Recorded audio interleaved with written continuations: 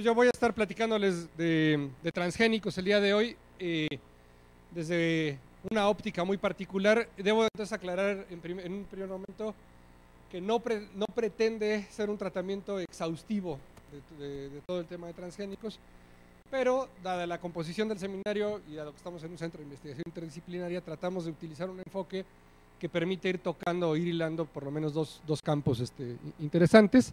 Eh, entonces vamos a, ver los transgénicos como eso, como homogenización y expansión capitalista y eh, tratando de rescatar elementos eh, desde la biología. Yo en un primer momento quisiera comenzar provocándolos, si esto se deja, creo que no va a dejar. Este, ahí está, la moción de provocación. Entonces, normalmente cuando hablamos de transgénicos tenemos que empezar de manera que sea escandalosa, que meta ruido, ¿no? Y entonces la nota más común es, eh, hay una epidemia de autismo este, eh, en, Estados Unidos y entonces esta es una cosa que ha estado saliendo bastante en muchos lugares. Eh, entonces efectivamente la, tasa de, de, casos diagnosticados con autismo de 1975 a la fecha pues parece seguir una curva exponencial ascendente y entonces lo más fácil pues es decir, este, seguramente los transgénicos tienen la culpa. Y entonces a mí me llama mucho la atención cuando se presenta sola esta gráfica, porque después vi que aunque, por ejemplo, en el boletín de la UNAM eh, se habla de esto, ¿no? Eh, y, leído así, pues entonces uno se espanta porque dice, claro, el problema son los transgénicos como tales, ¿no?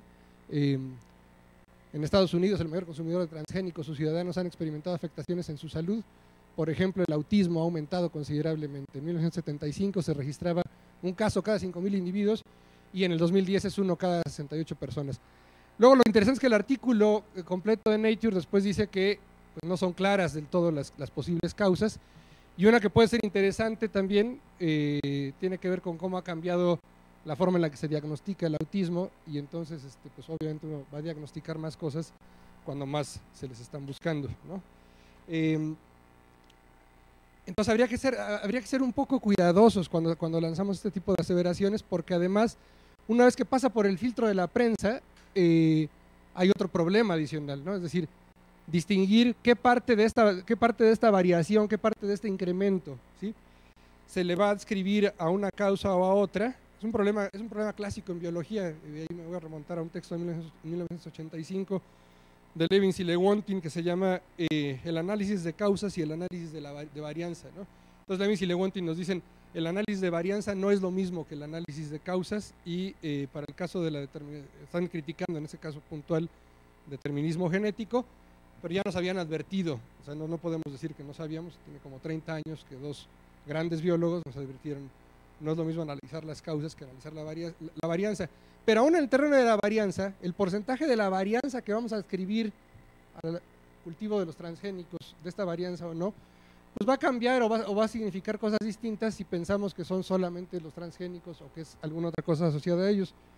Luego está este estudio de, Nancy Swanson, que es muy interesante además porque después vi, eh, trabaja en esta cosa que se llama Abacus Enterprises, em, y, hasta la fecha no puedo decirles a qué, se, a qué se dedica Abacus Enterprises, porque la página de Abacus está en varios directorios empresariales de Estados Unidos.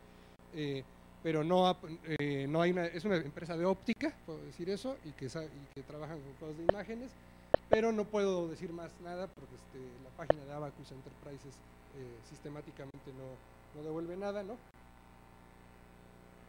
Publicaron este trabajo que está muy de moda ahora en el eh, Journal of Organic Systems. Entonces, básicamente lo que hacen es graficar, literal se llama trabajo ad nauseam con los mismos datos, ¿no? Eh, la cantidad de glifosato que se aplicó a, este, la soya o al, maíz en los Estados Unidos, eh, la cantidad de transgénicos que se, cultivan en la línea azul y eh, por otro lado, pues, meten aquí, hay 22 gráficas iguales, ¿no? con 22 enfermedades distintas. ¿no? Entonces, claro, los transgénicos, dice el artículo, son la causa de que esto se está incrementando. Entonces yo lo único que quiero llamar aquí la atención es que tenemos que ser muy cuidadosos cuando trabajamos con datos de correlación, porque el problema es que las correlaciones se pueden hacer con muchas cosas, ¿no? Entonces aquí está, ah, es el caso clásico, ¿no? El autismo también pasó, por ellos el autismo. Se incrementa el autismo conforme se incrementa que va en, estas barritas, ¿no? conforme se incrementa la cantidad de glifosato que se eh, eh, aplica a la soya o al, em, o al maíz. Entonces, ojo, no estoy diciendo que el glifosato sea seguro, es una de las peores cosas que, tiene, eh, que tenemos este, a nuestro alcance, pero creo que tenemos que ser cuidadosos porque fíjense que esta correlación es todavía mejor y es cómo se ha incrementado el autismo en función de la venta de comida orgánica. Entonces, yo creo que ninguno de ustedes atrevería a decir que la venta de comida orgánica es la causa de que se incremente el autismo. Entonces, correlación no es causación. Es decir, el pensamiento crítico no consiste en elevar a las correlaciones a criterio de causalidad desde mi punto de vista. Porque sabemos que dos cosas altamente correlacionadas pueden tener una misma causa subyacente y no ser una la causa de la otra. ¿sí? Es decir, dos cosas pueden moverse en conjunto, el caso clásico que todo el mundo cita, no creo qué porcentaje de la audiencia es biólogo o cercano a la biología, pero estoy seguro que todos ellos han visto la página del Spaghetti Monster y ahí hay una correlación precisa, clara, de cómo conforme decae el número de piratas en alta mar, se incrementa la temperatura atmosférica y entonces este, nadie en su sano juicio adscribiría a la disminución del número de piratas en alta mar el incremento de la temperatura atmosférica. Quizá la maduración del capitalismo, conforme el capitalismo deja de requerir de tener a los corsarios en alta mar, sea una mejor explicación para ambas cosas, el decaimiento del número de piratas en alta mar y el incremento en la temperatura de la atmósfera. Entonces, en este preludio lo quiero decir es eso nada más, que para entender el problema de los transgénicos necesitamos definir el sistema complejo del que forman parte y tratar de reconstruir la genealogía de ese sistema complejo para no, eh, eh, para no caer en, pelearnos nada más con, unas gráficas, ¿no? Este, porque eso se vuelve entonces, como nos decía este, Marx, ¿no? un problema escolástico ¿no? en la segunda tesis sobre Feuerbach, discutir eh, sobre el criterio de verdad que se puede aplicar a estos datos, pues se convierte en un problema escolástico. Entonces lo que vamos a ver es básicamente esto. Yo les voy a platicar en esta primera parte, bueno, sí, claro, a lo mejor tendría que ir todavía un paso más atrás. Lo que había pensado era primero platicarles un poquito y pues que después eh, habíamos mandado algunas lecturas, seguramente se acumularán cosas este, y gente con eh, interés de golpearme, entonces este, eh, pues al final podemos discutir con calma este, y abrir una ronda sobre los artículos y sobre lo que de aquí salga. En la parte de la plática pensábamos hablar de, fíjense que es una cosa muy chistosa, ¿no? porque entonces ahora sí este, rápidamente se van a dar cuenta de que de que hubo un engaño en el título, porque nos iban a hablar de los transgénicos y al final resulta que todas las, dos terceras, las, dos, terceras partes primeras van a ser sobre cosas que no tienen que ver directamente con los transgénicos. Tendencias en la agricultura anteriores al capitalismo, domesticación y diversificación, tendencias en la agricultura capitalista anteriores a los transgénicos, para de ahí elaborar elementos comunes al modelo de, de, agricultura industrial y entonces sí ver a los transgénicos como parte de un ciclo de destrucción, despoblamiento reconstrucción, reordenamiento. Entonces, este, es el momento en el que pueden reclamar porque efectivamente los transgénicos van a aparecer solo hasta, hasta el mero final. Em, quizá entonces lo que sea importante considerar es eh, partir del hecho bien sabido que la agricultura no siempre fue como, eh, como es ahora de manera dominante en muchos lugares del mundo. Em, el modelo agroindustrial al que estamos acostumbrados es un modelo relativamente reciente eh, y sabemos, gracias al trabajo de Babilov, que eh, eh, la agricultura surgió más de una vez en el mundo. Hay una discusión sobre si son centros, si son centros o no centros. ¿A qué obedece el hecho de que la forma en la que se da la domesticación y origen de la agricultura en el, creciente fértil o en Mesoamérica sea diferente de cómo se da en Sudamérica o diferente de cómo se da en el sudeste de Asia, que es lo que llevó a otro investigador que se llamó Jack Harlan ¿no? a, sostener la idea de que había como, como dos dinámicas este, distintas. Entonces Babilov salió y se dio cuenta em, de que la distribución de los parientes silvestres de las plantas domesticadas pues, no, era, no, era aleatoria, eh, eh, sino que curiosamente había eh, muchas plantas que, son, que tienen alta diversidad aquí en Mesoamérica, pensamos en el frijol, en el maíz, también tienen sus parientes silvestres viviendo relativamente cerca y esto lo lleva a lanzar un argumento en contra de la posición que dominaba en ese momento en antropología, que era el difusionismo, que había llegado a afirmar en un libro tan tardío como los años 30, un señor que se apellida Smith, este, que la agricultura había surgido en Egipto y de ahí se había eh, difundido, era el hiperdifusionismo, y eh, estos grupos portadores de cultura habían atravesado el estrecho de Bering, decía el hiperdifusionismo, y habían llegado ya con la agricultura aquí. ¿no? Entonces Babilop se da cuenta de que esto no es así. Eh, aquí un, par de, un par de datos adicionales antes. Otra, otra cosa que le permite darse cuenta de, que esto no es así tiene que ver con que va a encontrar una cierta continuidad y esa parte quizás interesante. él sorprende mucho cuando va a un museo de antropología no el que conocemos ahora, el grandote de Pedro Ramírez Vázquez para narrar eh, una narrativa de Estado ¿no? muy, muy, muy bien construida, eh, sino un museo mucho más humilde que había años 30 aquí en la Ciudad de México. Y se sorprende de que los aperos de labranza que encuentra, este, fundamentalmente coas eh, y, este, y, distintos instrumentos, son demasiado similares a los que él está encontrando en las este, em, pequeñas comunidades agrícolas que él está visitando a lo largo de la Sierra Madre em, occidental y luego en la Sierra Madre eh, del Sur, allá en, allá en Oaxaca. Y entonces Babiló va a llegar a la conclusión de que algo, eh, de, que algo deben tener que ver estas, estas unidades de producción relativamente marginales, porque fue también en unidades de producción relativamente marginales acá en, en, Irán y Afganistán, donde él encuentra el, centeno este, en condición arbense. Nosotros decimos arbense cuando nos referimos a una planta que crece asociada al cultivo, pero que no ha sido sembrada por alguien, sino que aparece espontáneamente en, un campo. Eh, y hay arbences de todo tipo, hay arbences que son simplemente toleradas, que la gente los deja estar. Hay arbences que, como los campesinos este, afganos que él veía, este, pues son muy malvenidas a la, parcela. Entonces, él se da cuenta que algo hay con el centeno cuando se percata de que hay cientos de maneras de nombrar en persa al, este, al centeno silvestre que crece en medio del trigo y casi todas las formas de nombrar al centeno tienen que ver con es la plaga que me ataca el cultivo de invierno, es la plaga que brota en primavera, es la plaga que ataca en tal otra época, hasta que de pronto en medio de un, de un vallecito se encuentra unos que finalmente han hecho las paces con el centeno silvestre y decidido que lo van a cosechar, lo cosechan a inicios del siglo XX junto con el trigo y lo mezclan haciendo pan de trigo y centeno. Entonces dice obviamente estamos en el presente, no estamos reconstruyendo el pasado, pero a veces el presente nos habla un poquito de cómo pudo ocurrir en el pasado la adopción de estos cultivos, que a veces empiezan como cultivos secundarios, como arbences, como cosas que están creciendo ahí, y se pueden volver un cultivo primario. Obviamente Babilov, que viene de la Unión Soviética, eh, donde en muchos campos el, centeno es este, lo que mejor se da, pues estaba muy contento este, de encontrar el centeno silvestre y para ellos, pues debe ser una plaga, es una cosa muy importante. ¿no?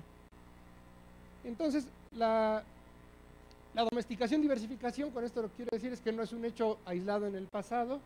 El tránsito de las formas silvestres, como sería este, en este caso la forma silvestre de un chile, eh, que por lo general vamos a encontrar que, presentan características muy, eh, casi cualquier cultivo en forma silvestre presenta características eh, contrastantes con las que presenta un cultivo propiamente dicho en estado doméstico. Obviamente la parte utilizada por el ser humano, en el caso del chile el fruto, pues va a ser altamente modificada por presiones de selección artificial, a tomar una diversidad de formas, literalmente de formas, sabores y colores. En muchas plantas ocurren cambios, estas plantas, eh, estas frutas de chile son fácilmente visibles por las aves, las pueden agarrar, pescar y dispersar los frutos péndulos, grandotes, pues no se pueden dispersar muy bien en ausencia de, participación del ser humano. Em, una baja en la cantidad de defensas y metabolitos secundarios. Entonces, eh, pero esto, este tránsito no es algo que ocurrió en un momento luminoso, en una especie de epifanía en el pasado, donde alguien tuvo la chispa, domesticó y tan tan, sino que todo indica es un proceso que tiene una cierta continuidad, es decir, todo el tiempo en algún lugar donde mientras hay vegetación más o menos en estado silvestre. La gente está haciendo uso de plantas de esa, vegetación. Eh, hoy sabemos que esta idea del paisaje prístino es, pues, más o menos eh, buen sueño, ¿no? Incluso la, cuenca del Amazonas este, eh, está ampliamente documentado por la arqueología y la antropología, que lleva bastantes miles de años siendo modificada en, la composición de la vegetación arbórea por, grupos de cazadores recolectores que antes pensábamos que no tenían un impacto ambiental importante. Entonces, este hecho pues, no, es un hecho, no es un hecho aislado, hay miles de trabajos, uno muy bonito reciente sobre el tomate verde, reporta cómo se, se empieza a introducir incluso ya a nivel de un mercado local, eh, el grupo de, Ofelia Vargas, que es una investigadora ahí de, Guadalajara, eh, se empieza a introducir a, un mercado local una nueva especie de tomate verde que no es Physalis filadélfica, que es el tomate verde que todos ustedes comen todos los días. Entonces la domesticación es el resultado de un proceso de selección que lleva a una mayor adaptación de las plantas y animales al cultivo o uso por los seres humanos, la definición más amplia y laxa de domesticación. Y la domesticación es orientada por este proceso de selección artificial, sea mediada por el manejo humano del ambiente o directamente por la decisión de qué organismos son dejados crecer, protegidos o incluso cultivados, sembrados y crecidos. Esta es la biota, más o menos, eh, eh, la, biodiversidad vegetal del mundo, 250.000, 300.000 especies por ahí. Se conoce, de acuerdo a, los reportes de la FAO, eh, hay como 30.000 especies, o sea, como el 10% de la diversidad de, las plantas que se conocen del mundo. Hay algún reporte en manos de la FAO de que alguien en algún lugar, en algún momento de la historia de la humanidad, los ha utilizado, o sea, para algo vestido, este, herramienta, construcción, alimento, este, lo que sea. Entonces, más o menos el 10% de la biota total de, la biodiversidad vegetal ha sido susceptible de ser utilizada por los seres humanos para algo. Eh, alrededor de 6.500 son aprovechadas como alimentos en, distintos grados. Y luego ahí hay una discusión típica este, y, larga e insoluble eh, entre los agrónomos. Habrá desde quienes digan que cultivos, cultivos, cultivos, como especies que han sido cultivadas sistemáticamente y bien modificadas, no son más que ciento y piquito especies. Habrá quien diga que son 2.500, podemos ir con una media de alrededor de 500, 600 cultivos principales, digamos, este, como cultivos que, en los cuales la humanidad ha basado, es el criterio que vamos a estar siguiendo a continuación, para considerarlo un cultivo principal, estaríamos pensando que es un cultivo en el cual la humanidad ha basado una parte importante de la reproducción de su vida material, es decir, una parte significativa de su vida material. Entonces aquí aparece una especie de paradoja porque parecería, y eso lo dice eh, Paul Hepps, que es un gran teórico de la domesticación, parecería como que no cualquier planta, aunque esté muy, sea muy útil o, tenga muchas eh, bondades, es susceptible de convertirse en un cultivo. Ser un cultivo es un proceso más o menos tortuoso, como les decía, que implica pérdida de defensas este, secundarias, pérdida de mecanismos de dispersión, pérdida de hábitos de crecimiento este, eh, normales. Entonces, en, un sentido estrictamente biologicista, uno ve a la planta cultivada y uno piensa que muchas veces es una especie de despropósito. ¿no? Aguacates enanos que eh, no dispersan también sus, este, frutos. Eh, plantas que producen menos frutos y ponen la mayor parte del esfuerzo reproductivo en unos pocos frutos y que entonces si algo le pasa a un fruto, pues ya se perdió una gran parte de la progenie de la siguiente generación. Entonces, es realmente, eh, desde el punto de vista biológico, un absurdo ahí. El correlato de la domesticación es la diversificación, y entonces esto pues lo, ustedes seguramente lo han, oído nombrar, lo, podemos, insistir un poquito sobre ello, ¿no? Eh,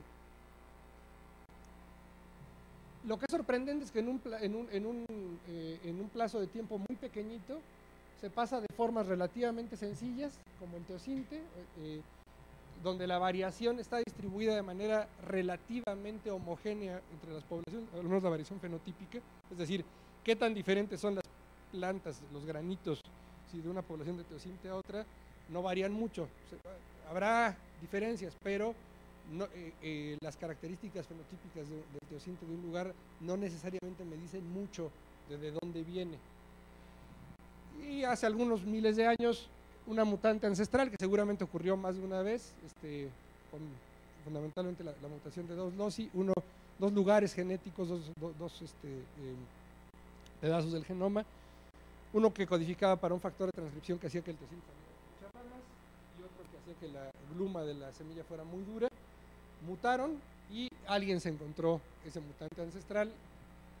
el acortamiento de las ramas terminales hace que se pase en un solo paso de una inflorescencia que tiene solamente dos granitos, bastante pinchona, a una inflorescencia con múltiples líneas em, de óvulos que van a dar origen a los granos del maíz.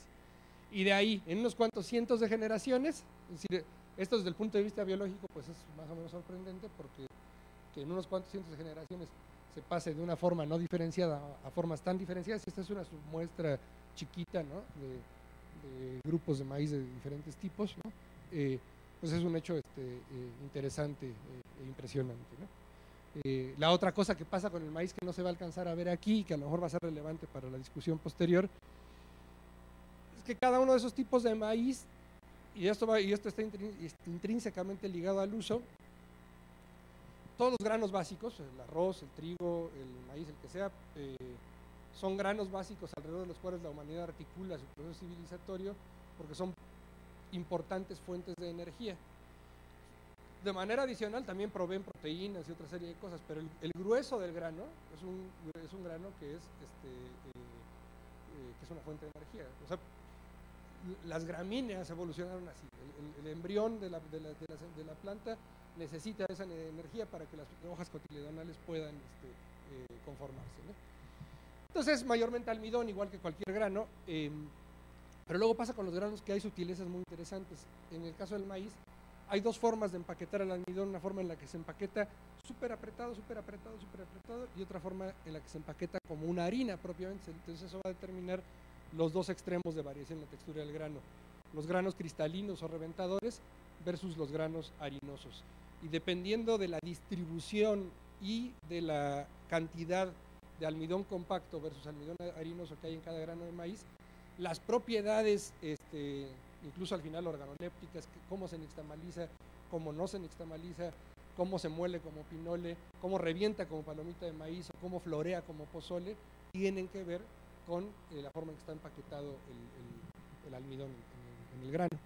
Em, y esto tiene que ver con que, y esa es la, hipótesis que hemos estado sosteniendo aquí ya tiene un ratito, y eh, que partimos de que la reproducción de la vida social es, eh, tiene un doble papel.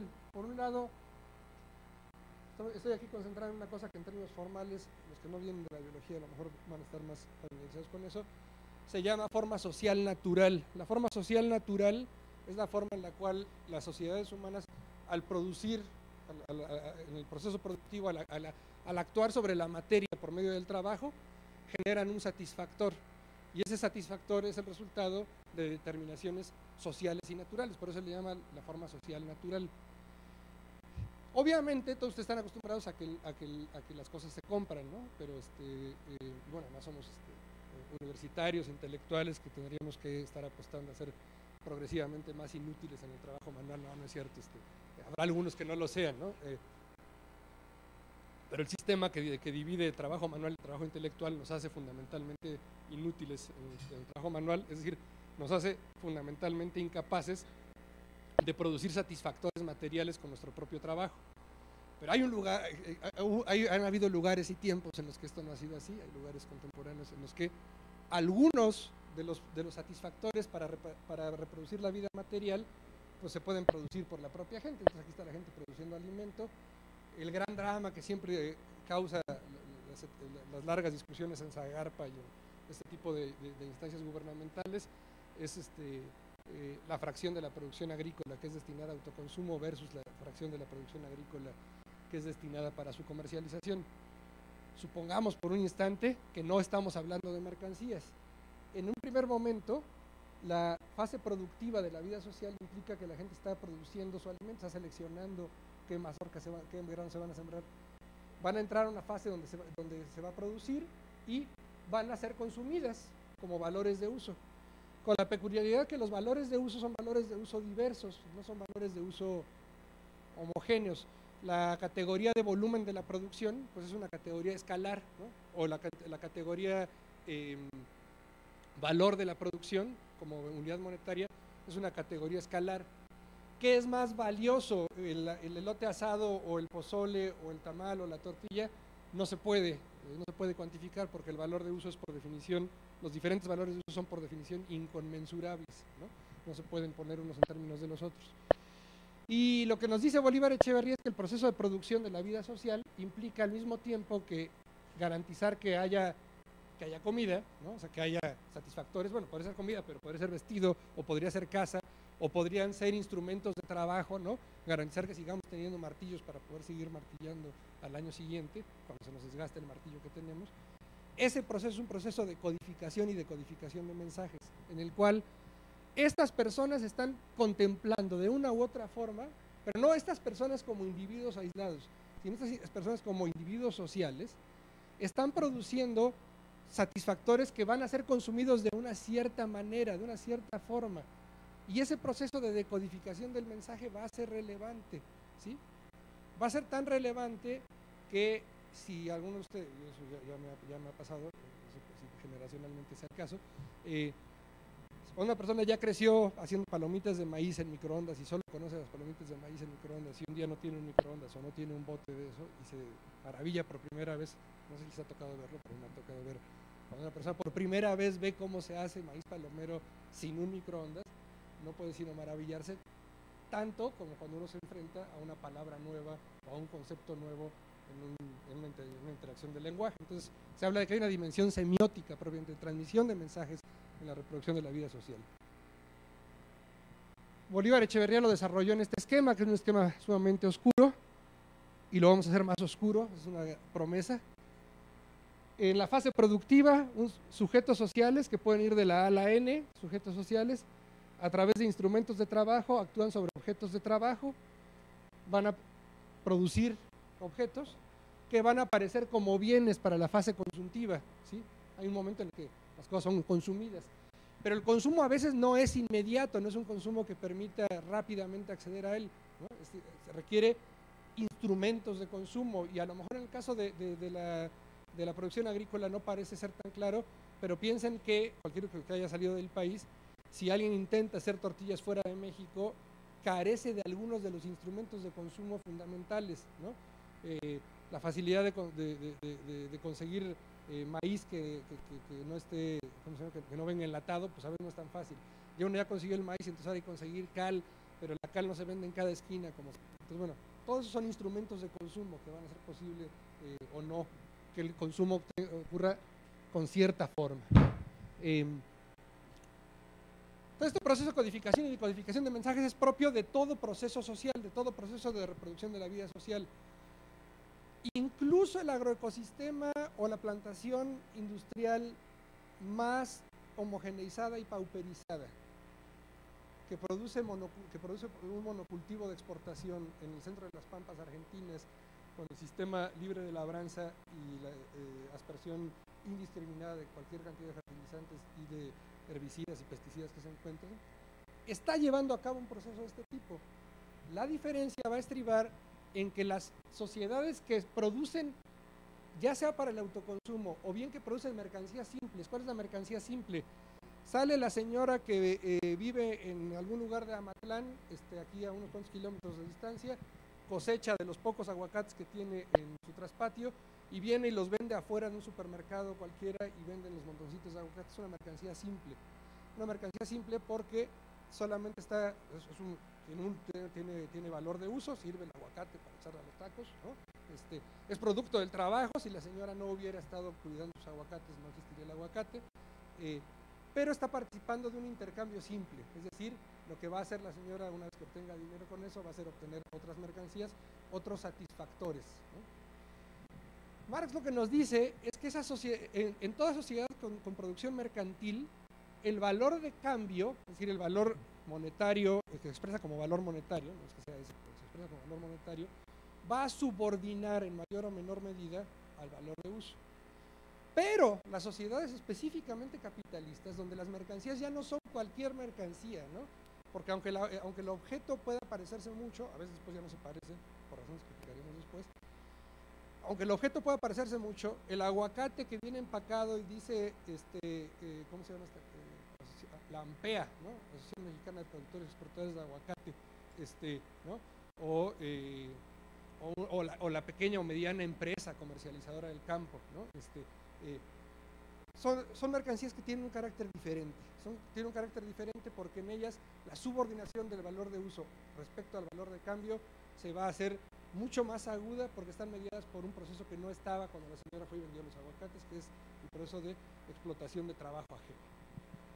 Y eso va a trastocar el proceso de codificación y de codificación de mensajes y con ello va a trastocar la dimensión política del valor de uso. visto desde esta perspectiva, nosotros diríamos que la agrobiodiversidad, como parte de la reproducción de la vida social, encierra ese mismo proceso. El proceso productivo de los sujetos sociales, que a veces son individuos, pero aún el individuo no existe como Robinson Crusoe, es el individuo que se vio en la necesidad de emigrar bajo un cierto contexto y acabó trabajando en los campos este, de, explotación agrícola de San Quintín. Incluso ese sujeto social eh, individual, si tomó su decisión como individuo y se fue solito en su camión eh, a riesgo de que se lo llevaran los zetas y demás, eh, ese sujeto es un sujeto social también, no existe como Robinson Crusoe. Al actuar sobre la naturaleza genera un cierto agroecosistema y ese agroecosistema puede ser un agroecosistema homogéneo o puede ser un agroecosistema diverso. Y la forma en la que se enfrenta en el proceso productivo obviamente va a cambiar. No es lo mismo participar en el proceso productivo cuando los instrumentos y objetos de trabajo pertenecen al sujeto social y entonces tiene la capacidad de decidir sobre de ellos, a participar en el proceso productivo cuando los instrumentos y objetos de trabajo pertenecen a alguien más, como el caso de los campos agrícolas de San Quintín. Y esto genera modificaciones ambientales que además de contra tienen efectos transgeneracionales eh, eh, para los seres humanos. Pero lo que es interesante es que antes de que hubiera capitalismo, algo pasó, que la forma en la que esto se ocurría permitió el tránsito de formas relativamente simples de satisfactores eh, de valores de uso, que es un valor de uso, un valor de uso es cualquier cosa que tenga una utilidad para satisfacer necesidades del orden material o del orden espiritual. Normalmente cuando pensamos en el orden espiritual en nuestros días estamos sesgados porque pensamos, estamos frente a esta forma deformada auténticamente del, orden espiritual del valor de uso. Sea, pensamos en estas cosas que yo necesito como ejemplo de, batalla, ¿no?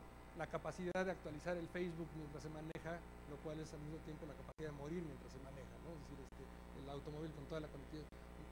bueno, son como necesidades un poco torcidas, pero antes de que, de que hubieran esas necesidades torcidas, pues hubieron necesidades en las cuales no bastaba que el chile fuese un condimento, sino que además se buscaba que tuviera ciertas eh, características particulares, eh, que tuviera ciertos sabores secundarios, a hierba, a chocolate, a madera, a distintas cosas, ¿no?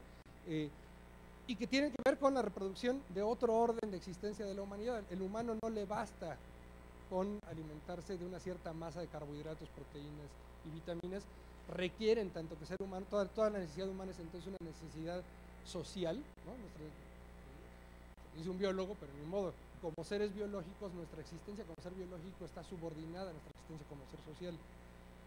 Y siempre pongo el ejemplo de este astronauta en la, cápsula Géminis, Michael Young, antes de irse con la tripulación que iba a la Luna, ¿no? Este, participó en otro programa espacial en Estados Unidos, eran las, cápsulas que llevaban dos personas, son las primeras camionetas espaciales después de las Voskhod que las habían hecho los soviéticos. Y en aquel tiempo los filtros de aire eran bastante malitos y entonces los astronautas lo que hacían era comer este, una papilla que venía en una pasta de dientes, un tubo de pasta de dientes, la y estaba garantizada su reproducción como seres biológicos. Tenían proteínas, carbohidratos, vitaminas, grasa, todo lo que pueden estar para vivir. Pero este señor necesitaba reproducir su vida como ser social, aún a riesgo de posiblemente acabar con su reproducción como ser biológico. Entonces metió en medio de su traje espacial un sándwich de carne en salmuera, ¿no? Y comió el sándwich de carne en salmuera y las moronas volaron por el espacio. No le pasó nada, afortunadamente, pero este, digo, porque además no estaba jugando con su salea solamente, jugaba con la salea del otro tipo que no me acuerdo cómo se llamaba, que estaba caminando en el espacio. Entonces la tesis dice, es básicamente esa, ¿no? La agrobiodiversidad, en particular, la diversidad de formas de nuestros cultivos evoluciona o aparece en el contexto de otra forma de reproducción general de la vida social, que no es exactamente la que tenemos ahora, pero sí con un rasgo común. El ser humano, nos dice otro filósofo que se llama Adolfo Sánchez Vázquez, es, eh, retomando a Marx en realidad, eh, todos, los seres, todos los seres vivos actúan sobre su entorno, ¿no? desde la bacteria más este, em, virulenta hasta la menos virulenta, todos interactúan sobre su entorno. De hecho, nos dice Marx, las abejas hacen casas hasta más bonitas que las del ser humano porque pueden hacer hexágonos perfectos sin utilizar jamás un transportador. Em, pero el ser humano es el único ser que es capaz de prefigurar el resultado de su acción, tal que, nos dice Sánchez Vázquez, el resultado de su acción existe dos veces, primero como resultado ideal y después como resultado material realmente existente. Entonces, eh, obviamente, hasta qué punto llega la, capacidad eh, eh, cognoscente de, las sociedades humanas, pues ha variado en el tiempo. Habrá habido un momento en el cual pues, se seleccionaba y a ver qué salía, y habrá otros momentos en los cuales a lo mejor la selección se hace asistida por marcadores moleculares, como se hace hoy día. Son distintos grados de desarrollo del, momento cognoscitivo. Un detalle no menor es que en el contexto de esta forma social natural, voy a decir una cosa que a todos los que hayan pasado por tercero de primaria les va a parecer trivial, pero vamos a ver que después no va a ser tan trivial. En el contexto de la forma social natural de producción de bienes agrícolas, un mismo objeto, dícese, definición botánica de semilla, la estructura que contiene el embrión de la planta cubierta por una capa protectora es la definición más amplia de semilla, ¿no? Existe como grano y existe como semilla a la vez, es decir, esa misma cosa, esa misma entidad física que tanto preocupó a Aristóteles desde hace miles de años, es al mismo tiempo un satisfactor inmediato de una necesidad, es decir, que existe como valor de uso, eh, como valor de uso general, como un objeto de consumo, como grano que te vas a comer de distintas maneras, pero al mismo tiempo existe como medio de producción para otro ciclo productivo, que sería la forma propiamente de semilla. La semilla es aquello que se siembra. Pero el objeto físico es el mismo y es una sola unidad. Grano y semilla son la misma cosa para la forma social natural. No lo perdamos de vista. Entonces ahora sí, veamos las tendencias de la eh, agricultura capitalista anteriores a los transgénicos. A me dicen este, cómo vamos. Si alguien necesita que me paren algo, algo no queda claro, ahí me van diciendo. Pero...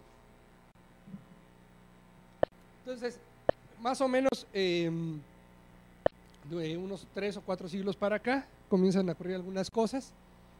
Obviamente ni es el interés ni, se trata de esto la plática, pues eh, discutir todas las mediaciones que hay entre esos miles de años y lo que ocurre hace tres o cuatro siglos, pero sí quiero ubicar dos o tres cosas de elementos sumamente contrastantes que son más recientes.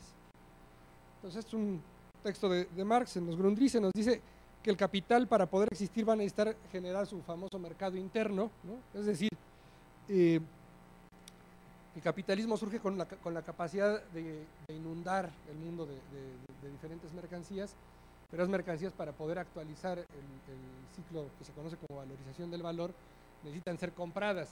Y nadie va a comprar algo que no necesita. Y la primera precondición para que eh, eh, esas mercancías puedan existir es la formación de un mercado interno.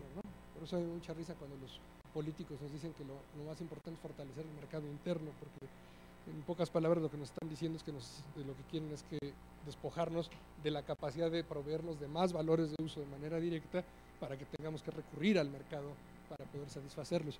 Curiosamente, solo son los que dicen que son de izquierda los que dicen eso. Entonces, este, em,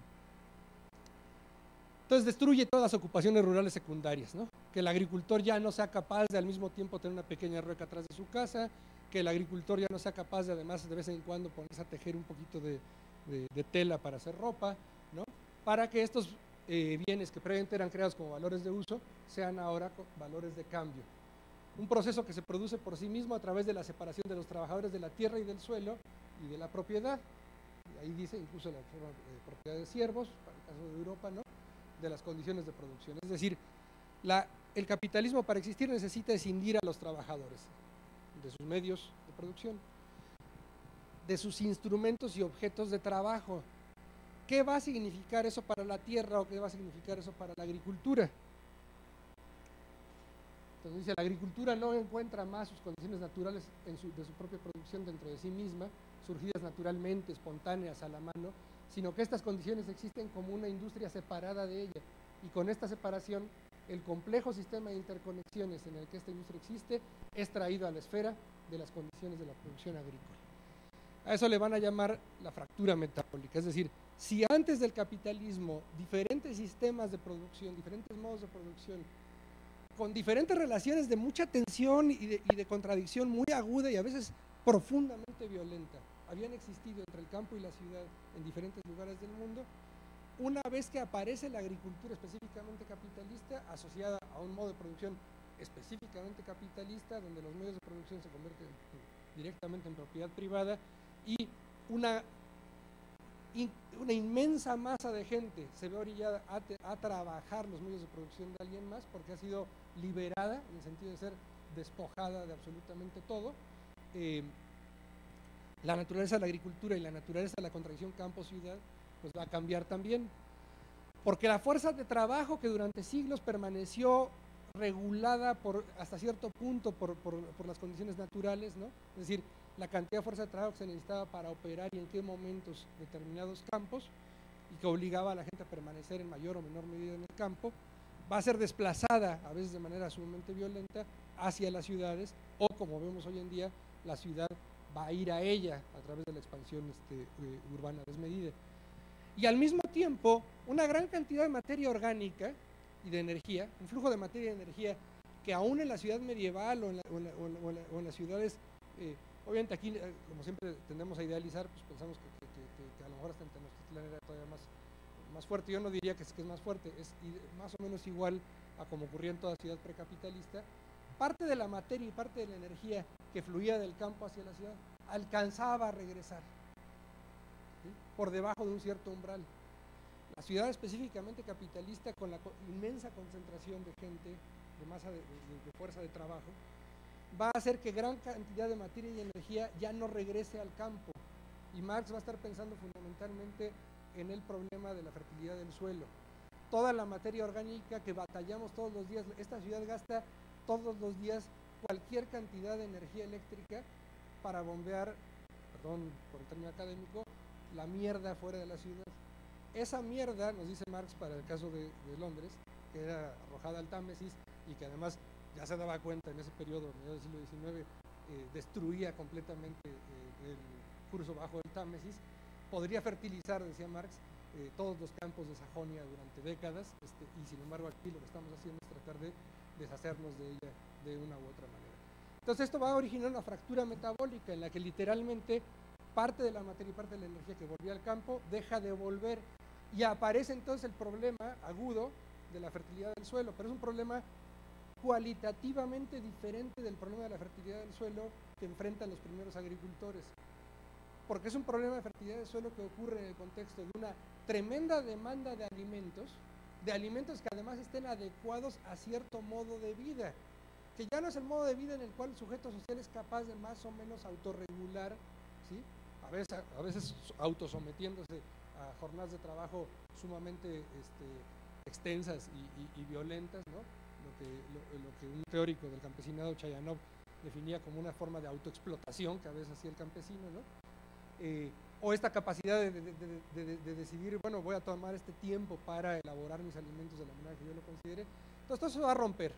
Entonces, hay una, por un lado, un notable incremento en la demanda de alimentos en la ciudad específicamente capitalista, pero además de ciertas formas de alimentos. Entonces hay una, Van der Merck, que es una gran agroecóloga, ha estudiado cómo hay una transición en, eh, Inglaterra en la cual las, clases pobres, que durante muchos años eh, urbanas, durante toda la época medieval, se habían alimentado fundamentalmente de una cosa que se llama porridge, que es como una especie de, eh, grano molido, este, humedecido y cocido y que se come como una especie de avena empiezan a, volverse consumidoras de pan en el contexto de que, porque el pan era consumido fundamentalmente o por campesinos o por gente medianamente acomodada en las ciudades. Pero el pan se vuelve una necesidad fundamental porque el pan es un alimento que eh, es mucho más transportable y se puede comer mucho mejor en el descanso de una jornada laboral fabril en Manchester que estar cargando lo necesario para preparar purrich a media, a media mañana es como muy complicado. Eh, entonces, hay también un cambio cualitativo en el tipo de demanda específica de alimento porque hay una transformación total de la vida. De eso, entonces aparece el famoso problema maltusiano. O sea, Malthus a mediados del siglo XIX elabora la teoría ideológica, ¿no? que va, pero que los biólogos aprendemos como, como verdad, ¿no? de que hay una tendencia de la población a incrementarse exponencialmente, mientras que la cantidad de recursos disponibles solamente se puede incrementar de manera lineal y eventualmente habrá una desproporción entre ambos y entonces benditas sean las guerras, nos dice Malthus, y benditas sean las enfermedades, porque lo que hacen es bajar ese excedente poblacional y el sistema se puede mantener. Eh, es la economía política que va a criticar Marx, por eso a mí luego también me da un poco de, se me hace simpático, ¿no? Cuando dicen que lo que tenemos que aprender es, economía política en, abstracto, porque Marx lo que está haciendo es criticar a la economía política de, estos cuates, ¿no? Em, entonces, hacia los años 40 y 70, y hay que ubicar bien el, contexto en el cual esto va a suceder. los años 40 y 70 están marcados por dos cosas, ¿no? Entre eh, este periodo. Uno, hay un problema porque el, digamos, el, enemigo común eh, que, había enfrentado la humanidad acaba de ser derrotado, en 1945 con el fin de la Segunda Guerra Mundial, se derrota el fascismo. Y, esa, y, ese proceso de la guerra viene a, viene a salvar una crisis muy importante, que era la crisis que venían arrastrando desde 1929, en el cual el, ante el reto, que independientemente del juicio que hagamos sobre lo que eso significó, ¿no? Eh, que plantea que un pedazo de la humanidad más o menos grande, 17, 22 millones de kilómetros cuadrados, pues que era una tierra más o menos grande, se había abstraído del proceso de valorización del valor, al menos tal y como lo pretendía el capitalismo, es decir, existía una cosa que se hacía llamar Unión Soviética, no vamos a discutir si eran socialistas o no ahorita, pero la realidad objetiva es que eso estaba por fuera del mercado capitalista y que había un eso representaba un reto para, las sociedades capitalistas eh, del periodo, porque eh, el reto era o, o, estalla la revolución al interior de nuestras, sociedades o somos capaces de regularla. Y es el momento en el que eh, Roosevelt lanza la idea del, New Deal, este, Keynes va a lanzar la idea, la, idea de la intervención del Estado en la economía, y entonces va, a abrir un periodo de tiempo entre 1945 y 73-76 que un historiador británico que se, llama Eric Hobson va a denominar la época de oro del Estado benefactor. En paralelo a la época de oro del Estado benefactor, donde en 1954 fundan el Seguro Social, donde la explotación sin límite eh, pues empieza a regularse, ¿no? Esta idea de que el trabajador de pronto llega a un periodo de su vida en el que se vuelve improductivo, producto de que ha estado sacrificando todos los días un pedacito de su reproducción, un pedacito de su vuelta, de su recuperación de sus condiciones de vida, pues va a recibir una aspirina en la forma de las pensiones y van a decir, bueno, va a haber pensiones, no se preocupen, sí los vamos a explotar, pero va a haber pensión al final, van a estar más o menos este, eh, cuidados cuando, ya, cuando, cuando los hayamos exprimido bien. Y en paralelo surge la llamada Revolución Verde, pero aquí, que aquí vamos a llamar Involución Verde. La Revolución Verde se llama Revolución Verde porque es la alternativa a la posibilidad de una revolución roja directamente. Es decir, ante el peligro de que haya, de que pueda existir una revolución por parte de los pobres, que los pobres se cansen de no tener que comer o algo de este estilo, se parte de un supuesto epistémico, que es, si incrementamos la oferta de alimento, entonces se va de alguna forma a distribuir y entonces las tensiones sociales Esa es la gran apuesta de la Revolución Verde. Y hay los medios técnicos, nos dicen los años 40, suficientes para, para, para, para hacerlo. Entonces, la revolución verde va a consistir en la transferencia de tecnologías con las semillas híbridas como punta de lanza. Y aquí voy a empezar a hablar un poquito de las, bueno, vamos a empezar a las semillas híbridas, pero eh, nada más quiero señalar aquí una cosa. Y es que este tema, el tema de la semilla híbrida, ya trae consigo una característica que en realidad los transgénicos no van a hacer sino exacerbar o manifestar en otro momento de desarrollo. Pero es la idea de que se ha escindido esta naturaleza de, esa unidad, como decíamos, era la estructura portadora del embrión vegetal recubierta de una capa protectora, ¿sí? Podemos decir semilla, porque justamente lo que hace el sistema es escindirla en dos cosas, ¿no? Por un lado existe el mercado de semillas y por otro lado existe el mercado de granos, donde el mercado de semillas es un mercado al cual va a recurrir el agricultor para sembrar y el mercado de granos es el mercado que se va a tasar en Chicago, ¿no? Este, eh, tiene ahí su, propia bolsa de valores, em, y que va a tener que ver con los alimentos propiamente dichos. Y obviamente, cualquiera que haya estado en tercero de primaria sabe que si uno abre la bolsa de este, frijol Morelos y le piden para dos días después un frijol germinado, en principio el frijol Morelos debería germinar. ¿no? Este, eh, el grano y la semilla no existen escindidos, pero sí para el sistema. Se propone un incremento en el monocultivo como una forma de, incrementar la eficiencia, de incrementar la, productividad por hectárea y, una elevada mecanización de la agricultura. un incremento notable en el uso de, fertilizantes, herbicidas y pesticidas. Y perdón compañeros, yo sé que nos escandaliza muchísimo cómo se ha incrementado la, la entrada del glifosato a raíz de los transgénicos y ciertamente ha ocurrido. Pero esa, ese hecho nada más, el incremento del glifosato, es un chiste cuando lo pensamos en términos históricos. Históricamente, el paso de un campo que no recibía fertilizantes químicos y que no recibía herbicidas o pesticidas químicos a un campo que se vuelve dependiente de herbicidas y fertilizantes, aunque sean más chiquito o muchote o, o, regulis, ¿no? Este, la cantidad de, fertilizante o herbicida o pesticida que se le quiere echar. Ese tránsito es un tránsito cualitativamente mucho más significativo porque es la ruptura no respecto a una tendencia de que antes echaba pero se medían un poquito porque se le moría el propio cultivo y ahora le echan muchísimo. Antes era cero. Y ese cero más o menos había existido durante unos 8 o 9 mil años y de pronto, de 200 años para acá, apareció el fertilizante y el herbicida. Y esto fue clave, o sea, la revolución verde fue clave para extender este proceso que ya era muy característico en, algunas sociedades industriales, en Inglaterra o en, Alemania, ¿no? Para extenderlo por todo el mundo. Estaba más o menos acotado a algunos cuantos campos y la revolución verde lo que sí va a hacer, en ese sentido va a ser revolución, va a ser la extensión hacia todos los rincones del mundo de, en mayor o menor medida, la introducción de, estos paquetes tecnológicos.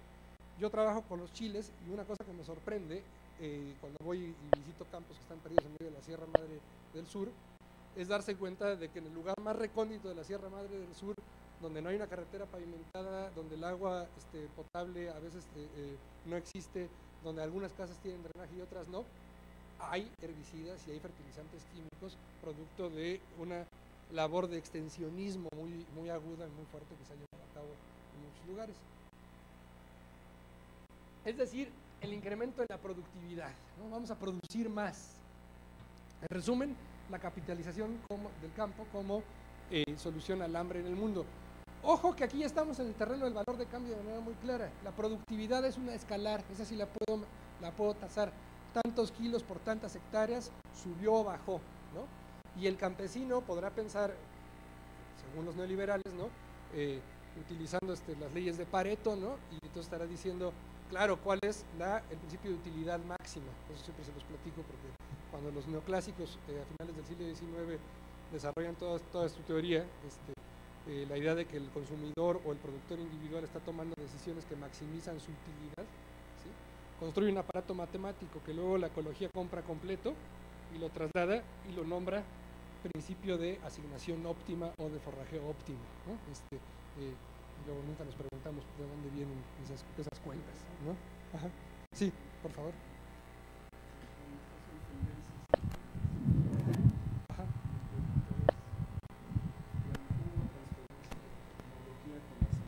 híbridas como puta de lanza. Y eso incrementó, bueno, yo supongo que incrementó el monocultivo. Y eso para incrementar la productividad. Mi pregunta es, entonces, antes, ahorita el tema estamos con los transgénicos, pero no justificó desde el punto de vista histórico en ese momento este, el desarrollo de la tecnología híbrida porque nos está dando mayor productividad. Ahorita vamos a ver cuál fue el resultado de eso.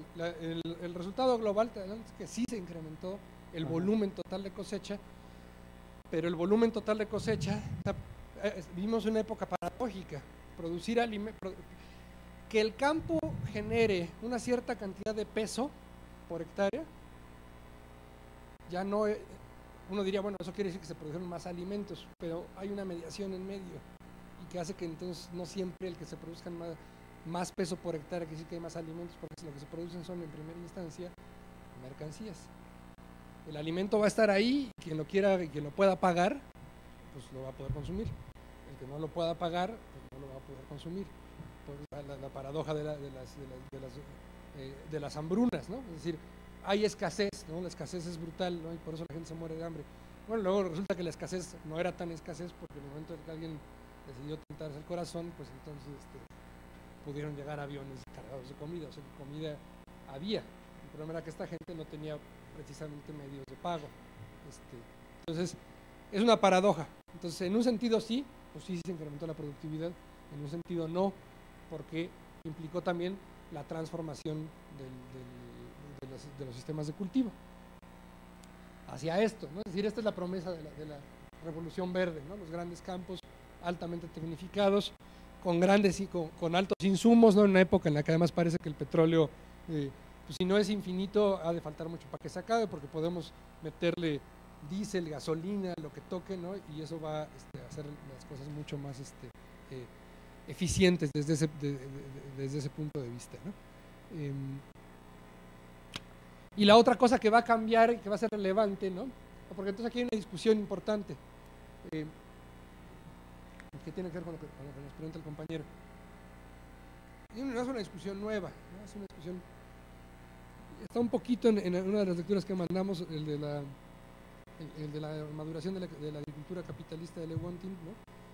Eh, ¿Cuál es la mejor manera para poder aplicar bien, entre comillas, el paquete tecnológico que una semilla híbrida que ha sido probada en un campo de cultivo experimental, que es estable, que además una, es otra característica que todavía incluso ahí en el convenio este, ¿cómo se llama? El IPOP aparece, pues que como biólogos nos debería saltar un poco porque la idea de estabilidad, o sea, la, idea de, que tiene características de unicidad y de, estabilidad, o sea, características que la distinguen y que permiten hablar de que es estable, pues es va en contra de, no de los últimos mil o dos mil años de historia, sino de los últimos 4.500 millones de años de, historia de la vida. Es decir, la vida por definición no es estable, la vida por definición no se comporta tipológicamente. Si se comportara tipológicamente, diría el general Anaya, no estaríamos aquí. Es decir, gracias a que no es estable, este, hubieron mutantes, cambió la atmósfera, este, algunos changos se bajaron del árbol, y bueno, pues aquí estamos platicando de transgénicos. ¿no? Este, pero bueno, todavía los, convenios dicen que son estables. Entonces, eh, había una discusión sobre cuál era la mejor vía para que el, paquete tecnológico se pudiera aplicar bien, que en realidad es una, discusión que el capitalismo ha tenido desde hace mucho tiempo, ¿no? Es la famosa discusión entre, entre Juárez y el, doctor Mora, ¿no? Este, eh, eh, perdón, el, doctor Mora y Lucas Alamán, en México. Lucas Alamán, el ideólogo económico de los conservadores, sostiene que la mejor forma de capitalizar este, el campo mexicano es a través de la gran hacienda eh, y eh, el doctor Mora, que es el, ideólogo económico de los, liberales, por cierto, los liberales son liberales porque están en contra de los aranceles a los este, productos que lleguen de fuera, también no nada más porque se pongan a los, a los curas.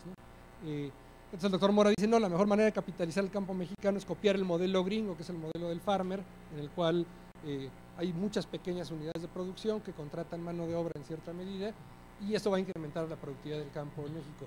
Entonces, básicamente son los dos grandes modelos, el modelo Juncker, que es el que se ha establecido en Alemania con grandes extensiones de latifundio, o el modelo Farmer. La paradoja de la historia de México es que la guerra la ganan los liberales y al final el modelo que imponen cuando los rebasa por la derecha eh, Lerdo y luego este, eh, Porfirio Díaz va a ser el modelo del Juncker, es decir, el modelo de la gran hacienda hasta nuestros días, este, eh, que no ha dejado de existir. Entonces había una, hay una discusión sobre cuál va a ser la mejor manera de aplicar bien el paquete tecnológico. Entonces, para algunos lugares se dice está bien, puede haber un poco de reforma agraria y esa reforma agraria va a servir en tanto se entregue como propiedad individual, pequeñas parcelas, tal que el, agricultor se vea compelido a mejorar las condiciones de producción locales y compre el paquete tecnológico completo y empiece a aplicarlo. Y a haber lugares donde va a decir, no, es mejor el, modelo este, em, eh, del hacendado o del, o del, gran latifundista.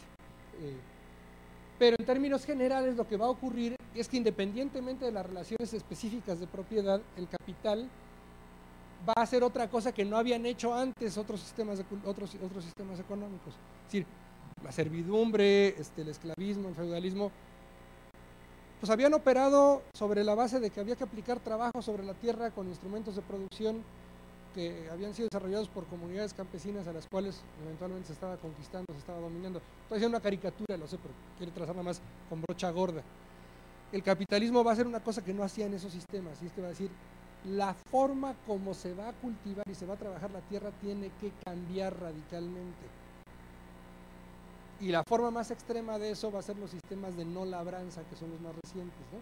Sistemas de no labranza, como se cultiva el grueso de la soya en Argentina, ¿no? un sistema donde la, revolución, la, clave de la revolución neolítica, ¿no? Sale el arqueólogo y dice, ¿cuándo sé que ya empezó la revolución neolítica?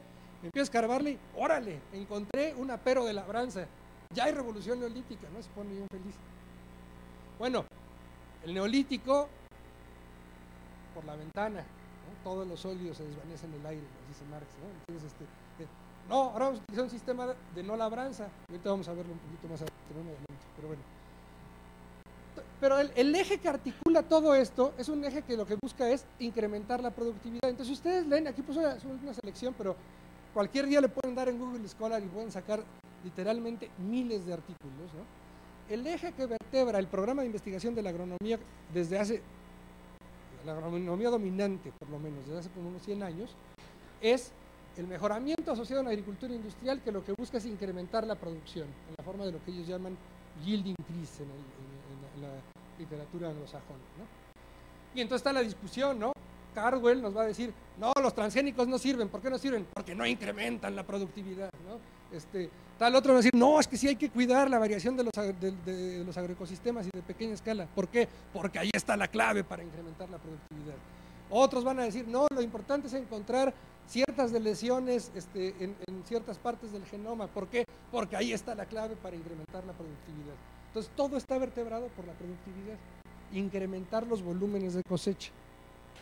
Y ahí está la, gráfica de, Vernon Carvel, ¿no? Esta gráfica él la utiliza, la es un poco vieja, pero no, importa, viene a cuento, porque él básicamente lo que está diciendo es, a todo esto para Minnesota no sirvieron los transgénicos porque las magnitudes de varianza, otra vez, el eterno problema de la varianza, la varianza, qué tanto se incrementó la producción con la introducción de diferentes técnicas, ¿no? Eh, rotación de cultivos, herbicidas, eh, cultivos semienanos, eh, aspersión de fungicidas. Fíjense que está hablando de puras cosas este, un poco, sobre todo en los últimos casos, ¿no? cultivos semienanos, herbicidas y fungicidas un poquito apocalípticas, pero dice, todas estas, una vez que los introducimos, se nota un salto en la productividad. Y metemos otra técnica y se sube un salto en la productividad. Metemos transgénicos y nunca llega el salto en la productividad. La tendencia permanece incluso para Minnesota. Entonces, pero quiero decir es que incluso el discurso crítico, en tanto que está embebido en el mismo sistema del lenguaje del capital, no alcanza a escapar a este. Entonces lo que va a decir es, vamos a criticar a los transgénicos. ¿Por qué? Porque no están cumpliendo con la promesa de incrementar la productividad. Bueno, ¿y cuando dijimos que el problema que teníamos que estar discutiendo nosotros era el de la productividad? ¿Y qué productividad? Cuando antes lo que teníamos era que lo que había generado la diversificación de plantas cultivadas había sido no solamente la decisión de basar la economía en la agricultura, sino además de decidir qué específicamente se quería comer, de qué manera y en qué época, que es, una, otra es un, en todo caso un vector, un espacio multidimensional más complicadillo. Pero además aparece un flujo muy peculiar de conocimiento en medio de todo esto, que se desarrolla más de manera mucho más clara después de la Segunda Guerra Mundial, porque empieza a haber dinero importante, ese Estado benefactor, ¿no? Que construye ciudad universitaria, que construye este, el, el Instituto Mexicano del Seguro Social, que construye las grandes autopistas en Estados Unidos y que con eso levanta la economía, ¿no? Ese Estado benefactor, el mismo, empieza a meter dinero de manera indirecta a programas de investigación y los capitalistas están dispuestos a hacerlo. Por eso no es trivial que es la Fundación Rockefeller la que le paga a Wellhausen en los años 40 para que venga y colecte toda la diversidad de maíces de México con la ayuda de Hernández X, ¿no? Con el pequeño detalle de que toda esa diversidad va a ser utilizada posteriormente en estudios de campo. Aquí está ya Wellhausen haciendo una cruza controlada de maíz, que va a desarrollar, no es que él haya desarrollado esta línea de, maíz híbrido en particular, la pongo ahí nada más porque es ilustrativa y porque además es una línea de maíz híbrido de cal que ha recibido, este, hay de cal por varios números, no sé cuántas decenas de líneas hay, pero que ha recibido subsidios importantes por gobiernos este, de varios partidos políticos para ser este, cultivada en México, ¿no? la línea de cal. Em, en Chiapas, por ejemplo, se, cultivó bastante. Em, entonces, generan estas líneas híbridas y van a regresar como paquetes tecnológicos a ese espacio social del cual se había tomado la información que había hecho posible en un primer momento la generación de las famosas líneas híbridas. Entonces, el flujo de conocimiento es muy peculiar porque el técnico, el, técnico extensionista, aparece como depositario del conocimiento verdadero, su conocimiento, el que llega a promover, sea por, parte del Estado, sea por parte de la iniciativa privada, el que llega a promover el paquete tecnológico, aparece como aquel que posee un conocimiento más verdadero que el del resto de la gente. El pequeño detalle es que esta gente había alimentado en un primer momento ese proceso de generación de conocimiento, lo cual eh, no deja de ser este, eh, eh, sospechoso. los programas de kilo por kilo que tenemos hoy en día todavía, ¿no? Este, dame un kilo de maíz criollo y te doy un kilo de maíz mejorado, este, son otra muestra de este tipo de, ideas o de tendencias. Pero lo que quiero ubicar aquí es que esta tendencia, que implica por una parte la separación de, o, la toma de muestras o la toma de conocimiento, de información, voy a decirlo en términos marxistas, de elementos que, en los que está depositado trabajo pretérito, y bajo, y bajo esta idea estoy partiendo de la idea de que las semillas criollas, llamadas criollas o variedades locales, son cúmulos de trabajo pretérito. O sea, esas semillas existen no porque, eh, no, no, porque estén ahí contenidas en sí mismas propiedades este, especiales, una cosa de este estilo, que podamos entonces llevarnos a congelar ahí a, una isla en el norte de Noruega y entonces ahí se conserva este, prístina. Y existen porque hay un conjunto de seres humanos que está trabajando sobre ellas y que va modificándolas y que va dejando este, eh, en, esas características, en, esas mazorcas eh, características específicas que además están ajustando continuamente a pequeñas variaciones ambientales, a cambios pequeños o grandes en las prácticas agrícolas y entonces en ese sentido la semilla sería vista como un instrumento de trabajo. La sustitución de esos instrumentos de trabajo que son autoproducidos por instrumentos de trabajo que tienen que pasar por la gran industria y van y solamente entonces llegan a la agricultura, nos habla exactamente de lo que nos estaba hablando Marx en esos dos pasajes de los Grundrisse que habíamos mencionado. Entonces nos dice Paulo Freire, como técnicos especializados en las relaciones hombre-mundo, tomando este desgraciadamente en su sentido exclusivo de la naturaleza, de las cuales resulta la producción, desde hace mucho tiempo los agrónomos percibieron la importancia indiscutible de su presencia junto a los campesinos para lograr la sustitución de sus formas de enfrentar la naturaleza. Y no hay que perder de vista eso, porque después en el terreno político siempre habrá una sirena cantándonos, ¿no? Es muy importante este, eh, la travesía Ítaca, ¿no? Hay que estar atentos a los cantos de sirenas y aguantar. Porque a los que se han formado como técnicos o a los que tienen una formación científico-técnica, con maestrías, con doctorados, siempre va a aparecer el canto de sirenas que va a decir, ahora les toca a ustedes definir la agenda. Entonces van a decir, claro, pero yo sí voy a definir la agenda buena. Entonces yo voy a hacer el que diga, voy a decir las cosas, pero en, en el buen sentido. Más voy a salvar a la sociedad y se nos va a olvidar que tenemos que pensar como parte de la sociedad y cambiar nuestra manera de relacionarnos. ¿Cuál fue la realidad de la involución verde? Uno, las semillas híbridas fueron desarrolladas a partir de razas criollas, así se les llama, a mí no me gusta el término, yo prefiero variedad local, recolectadas alrededor del mundo. Entonces, en un primer momento implicaron un proceso de despojo. Si el despojo fundamental del capitalismo habría tenido que ver en un primer momento y, para los ingleses o para los alemanes es algo tan lejano que ya no tiene sentido, para nosotros es una realidad distinta, ¿no? Es decir, ya no hay una comunidad agraria, una comunidad agrícola Alemania o Inglaterra, desaparecieron, ¿no? Y en el caso de Escocia, literalmente las vacas se comieron a la gente, ¿no? Es decir, los lugares donde la gente cultivaba sus, campos en, las, Highlands, en todo el norte de Escocia, pues fueron limpiados de gente de los clanes y fueron, eh, fueron mandados a las grandes ciudades de Edimburgo y demás, y se convirtieron en enormes montículos de pasto donde, vagaron las, ovejas y vagan este, hasta nuestros días.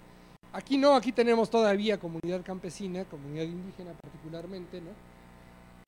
Entonces, el primer despojo es el despojo de la tierra, es decir, retirarle a la gente el control de la tierra, al mismo tiempo que, se retira al artesano o al pequeño productor el control del pequeño taller y demás, el siglo XX lo que va a haber, lo, por lo que va a estar marcado desde el punto de vista de, las semillas híbridas, va a ser el despojo de la gente, despojar a la gente de un instrumento particular de producción que es la semilla, que se va a incorporar a este otro proceso con la peculiaridad de que se llame Decal, se llame Pioneer o se llame la línea desarrollada por Chapingo, con el nombre que ustedes gusten y manden, van a ser bienes patentados, con lo cual la noción de bien común, la noción de, algo que, es una propiedad en un sentido colectiva, ¿no? que es una propiedad del sujeto social, va a desaparecer y va a ser sustituida por un tipo particular de propiedad que se llama propiedad privada. Es decir, eh, el proceso de despojo, lejos de ser algo que nada más le ocurrió a unos pobres desafortunados en Manchester en los años 1500, 1600, es una constante histórica, geográfica y social del capitalismo en todo su desarrollo.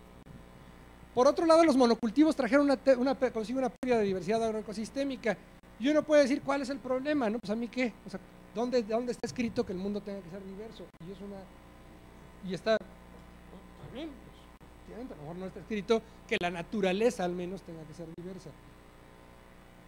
Pero eso tiene consecuencias graves. ¿no? El caso del plátano es quizá el caso más, eh, eh, más agudo, porque además en ese caso tenemos una planta que tiene reproducción clonal, ¿no? donde todos los plátanos son idénticos. El plátano es un accidente tremendo. El plátano fue domesticado en un primer momento para comerse una especie de corazón de palmito gigante, que era el, meristemo apical del plátano, del sudeste de Asia, y eso era lo que se consumía. Y había dos especies que eran utilizadas para esto, hasta que un buen día alguien se dio cuenta de que cuando hibridaba dos especies se formaba una eh, línea infértil, es tan infértil que ninguno de ustedes ha tocado jamás con una molesta semilla de plátano al comérselo, porque la semilla no se desarrolla. Bueno, se desarrolla una semilla cada no sé cuántos millones de plantas, entonces es bajísima. Y luego ya que se desarrolló, es un problema porque es este eh, falta que sea viable, este, que se germine. Entonces los mejoradores de plátano padecen mucho. Entonces ahí de contra es clonal. Y el modelo, pues lo que promovía era grandes extensiones de plátano pues, este, eh, cultivadas al final con clones. Entonces cada tanto, cada tantos años aparece una nueva plaga de plátano que le pega al único genotipo que hay en una línea, por ejemplo, del Tabasco. Y si todos los campos de cultivo están sembrados contiguos, uno, tras otro, tras otro, tras otro de plátano, pues entonces el, parásito pues dice, venga, esta es la mía, paso a otra planta, otra planta, otra planta, otra planta y las mato a todas y se acabó. El policultivo, al generar una dinámica heterogénea en la cual no todos los individuos pertenecen a la misma especie o al mismo genotipo, dificulta los procesos de formación de plagas. Los parásitos pueden estar, pero no como plagas.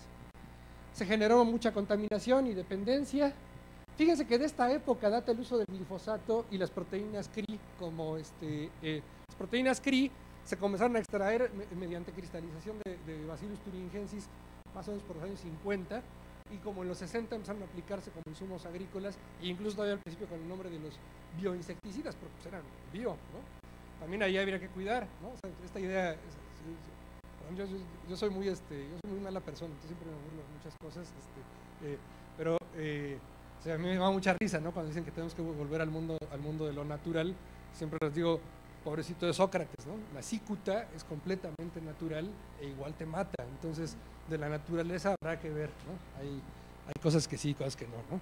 Eh, entonces, las proteínas que efectivamente vienen de la naturaleza, eso no las hace ni mejores ni peores, hay que ver en qué contexto y para qué. Y entonces se comienza a utilizar muchísimo glifosato, es la época en la que se dice el DDT no pasa, no, pasa nada. Hay fotografías de niños siendo rociados con DDT de pies a cabeza en las playas de California. Em, pero, eh, bueno, entonces obviamente esto genera pues, toda clase de problemas, ¿no? Se empieza a contaminar el agua, hay adelgazamiento de suelos, porque además empieza a ocurrir otra cosa, ¿no? El, problema este de, la, de la labranza, pues sí se hace mucho más rápido, pero se hace con máquinas que, pesan varias toneladas, que están pasando por ahí encima y que van a dejar el suelo mucho más compactado que lo, que, lo, deja un buey. Este, el polvo se hace mucho más fino y mientras más fertilizante echamos, pues más. Eh, y entonces, pues viene la pérdida de, suelos.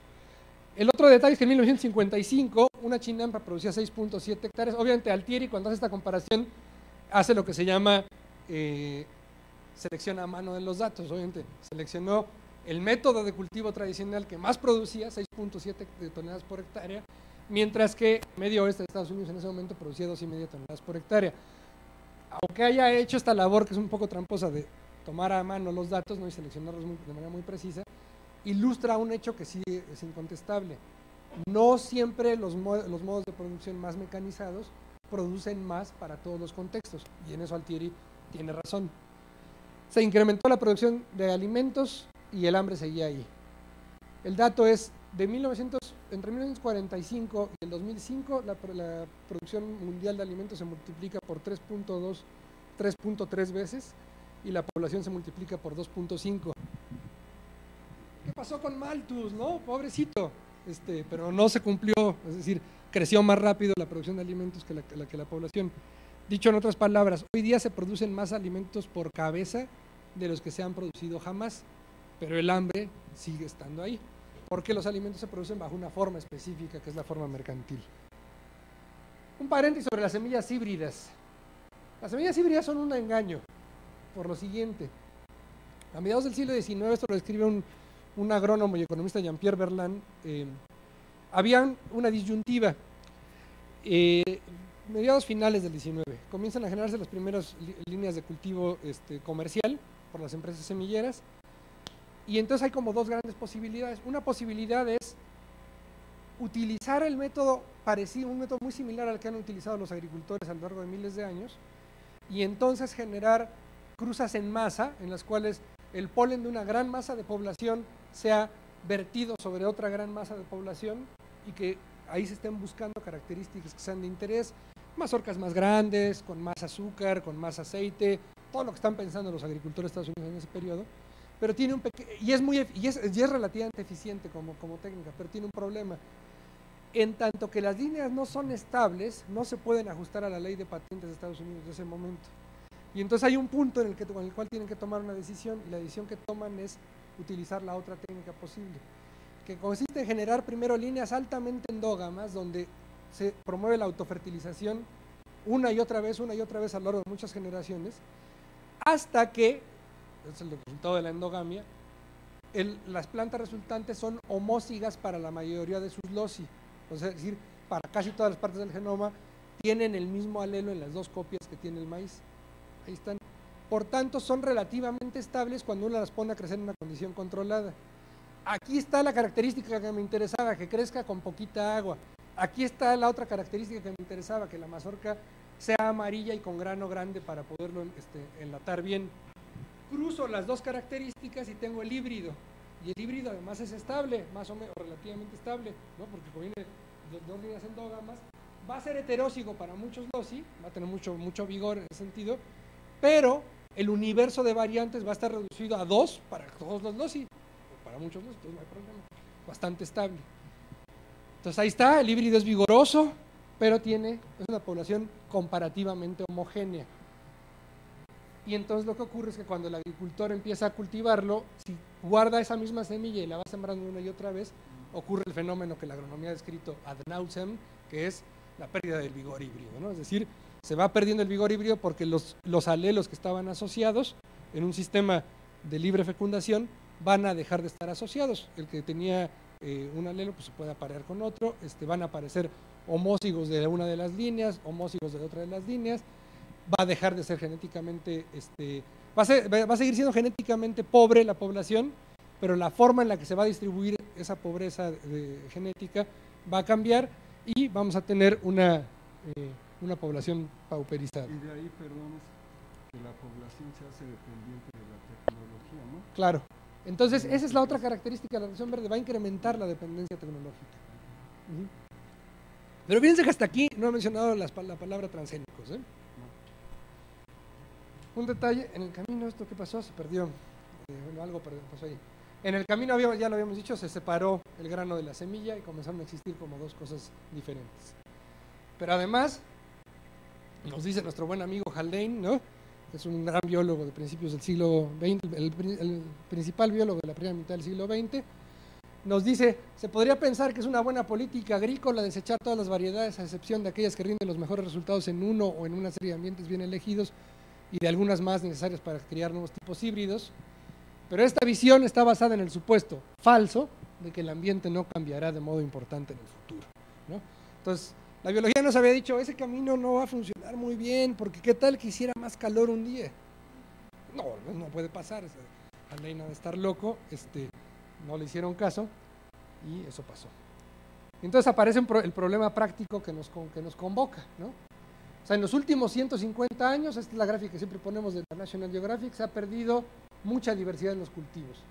Si a principios del siglo XX se cultivaban 307 tipos de maíz dulce, en Estados Unidos hoy en día el mercado está dominado por dos. Si había 544 tipos de eh, col diferentes, hoy en día hay como 23. Si había 400 variedades diferentes de, jitomate en el mercado de Estados Unidos, hoy en día hay 70 que dominan el grueso del mercado. Entonces, ha habido una pauperización constante. Lo cual quiere decir que si por alguna razón el clima llegara a cambiar, pues vamos a estar en problemas. O que si apareciera una nueva, una nueva plaga, pues vamos a estar en problemas como humanidad.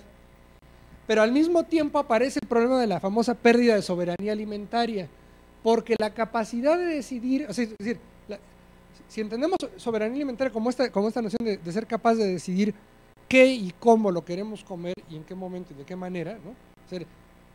estamos pidiendo cuando decimos soberanía alimentaria, lo que pasa es que hay que ser conscientes de ello, porque si no somos conscientes de ello, vamos a estar pegándonos con la pared.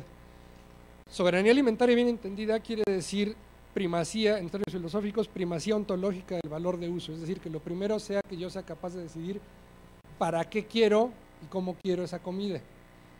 Y si cobro conciencia de ello, entonces ya sé a qué me estoy enfrentando, porque no va a haber mecanismo que me garantice la soberanía alimentaria mientras el valor de uso siga subordinado al valor de cambio.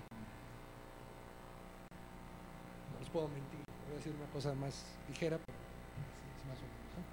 Entonces, la reducción de la variación genética de los cultivos los hace predecibles, es decir, no fue tampoco un accidente, ¿eh? tampoco, eso hay que tenerlo claro. No es, no es la estupidez humana la que ocasiona esta búsqueda, o la estupidez humana en abstracto, por lo menos, sino una necesidad socialmente construida. Lo que pasa es que no es una, a menos que ustedes sean dueños de, una, de una empresa no tan, no tan mediana, mediana, grande, agrícola, ¿no? con varias extensiones de tierra, eh, no es una necesidad que compartamos muchos de, muchos de nosotros, pero es una necesidad socialmente creada. La agricultura industrial capitalista la lleve a cabo el farmer que contrata migrantes eh, jornaleros mexicanos y que no más tienen cuántos acres de terreno en, medio de, Estados Unidos, o la lleve a cabo, este, em, ¿cómo se llama?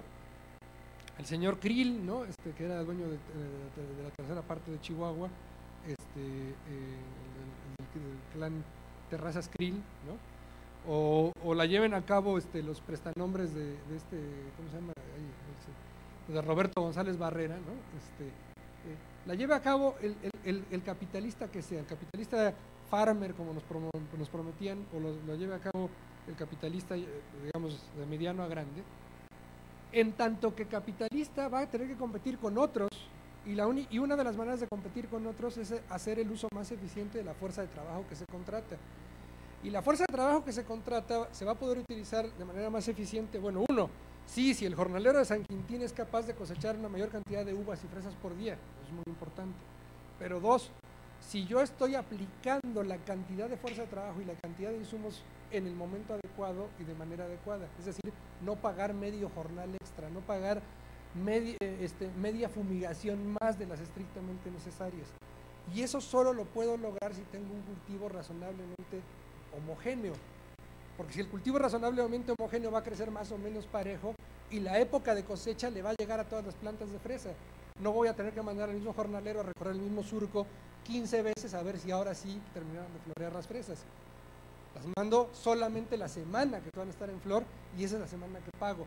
Porque si no lo hago yo como capitalista, el capitalista de al lado probablemente sí lo va a hacer. Y como las cosas se venden su valor, es decir, el precio de las cosas es su valor, si el de al lado abate los costos de producción, va a poder por su producción más en el mercado, me va a desplazar del mercado y no voy a poder ganar. Entonces, es una necesidad del capitalismo, es decir, los cultivos homogéneos son consustanciales al propio proceso de acumulación de capital. ¿Nos hace más vulnerables eso? Sí. Y pregúntenle a los irlandeses en la luna de la papa en 1848 1946-47, ¿no? Y luego viene aquí a pelear con nosotros en el batallón de San Patricio, ¿no? Este, eh, a defender a México. Durante todos los años que dura la hambruna de la papa, Irlanda no deja de exportar centeno y trigo a Gran Bretaña, a, este, Inglaterra.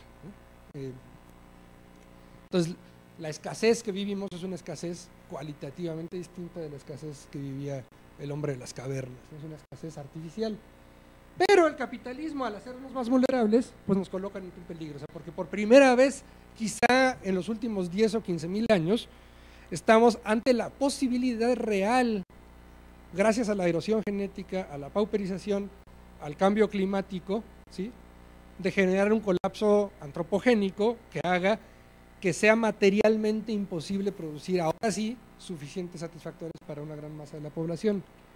Por eso nos decían Marx y Engels que la burguesía se sobrepone de sus crisis de dos maneras, destruyendo violentamente una gran masa de fuerzas productivas, es decir, erosionando genéticamente los cultivos y conquistándole nuevos mercados, a la par que procurando explotar más concienzudamente los mercados antiguos. Es decir, remedia unas crisis preparando otras más extensas e imponentes y mutilando los medios que, que dispone para precaverlas.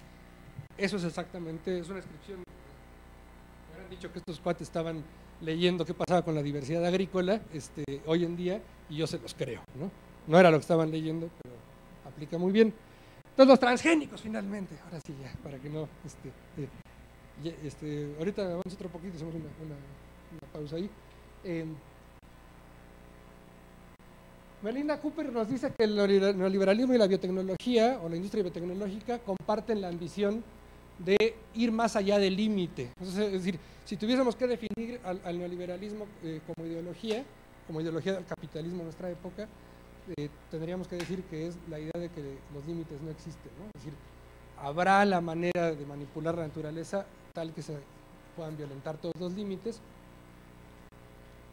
asociado también está la pérdida del límite en, el uso de la violencia por parte de estos grupos de poder. Em, y entonces, pero no se resuelven los problemas fundamentales del, capitalismo. Entonces los transgénicos parten de la tecnología del DNA recombinante que se origina en los años 70. Tienen algunas cuestiones epistemológicas muy curiosas, ¿no? El concepto de gen en el que se, monta, se construye la biotecnología es el concepto de, de un gen, una enzima, que es un concepto de gen que no proviene de la genética de poblaciones y que tampoco proviene de la, biología evolutiva. Y no es que esté tratando de salvar mi campo de estudio este, original. Es un hecho objetivo que quien propuso la idea de que un gen es el pedazo de DNA que codifica para una enzima fueron dos bioquímicos, Bill y Tatum, en 1941. Las semillas híbridas parten de reconocer un hecho, es decir, Mendel, ustedes pueden tocarse los, lóbulos de, la oreja y saber si están pegados o no están pegados, y están ante una característica que está identificada por un locus con dos alelos, y, este, y no hace mayor problema, igual hacer o no taquito en la lengua, esas cosas existen, los chicharitos de Mendel son así, pero nuestra estatura o la estatura de las plantas de trigo no está codificada por un gen, tienen que ver con un proceso de herencia multigénica en el que participan muchos genes. Sabemos eso desde 1918 en un artículo de Fisher cuando, cuando plantea el inicio de la síntesis moderna. Eh, pero eso no lo toma en cuenta la biotecnología, parten de la idea de un gen, una enzima. Se soslayan la relevancia de las modificaciones post-transcripcionales del RNA, es decir, está el DNA, llega la enzima, lo lee, lo convierte en RNA, sale del núcleo y en lo que va caminando rumbo al ribosoma, llegan unas enzimas, lo tasajean y lo vuelven a juntar y lo juntan en más de una versión. ¿no? se sabe que un gen de una mosca, que está involucrado en el desarrollo del sistema nervioso de una mosca, eh, tiene como 12.000 formas alternativas dependiendo de cómo sea este, esa posición alternativa del RNA. Pero todo eso no importa. Al mismo tiempo se desdeña la interacción genotipo-ambiente, que también la conocemos en biología desde hace mucho.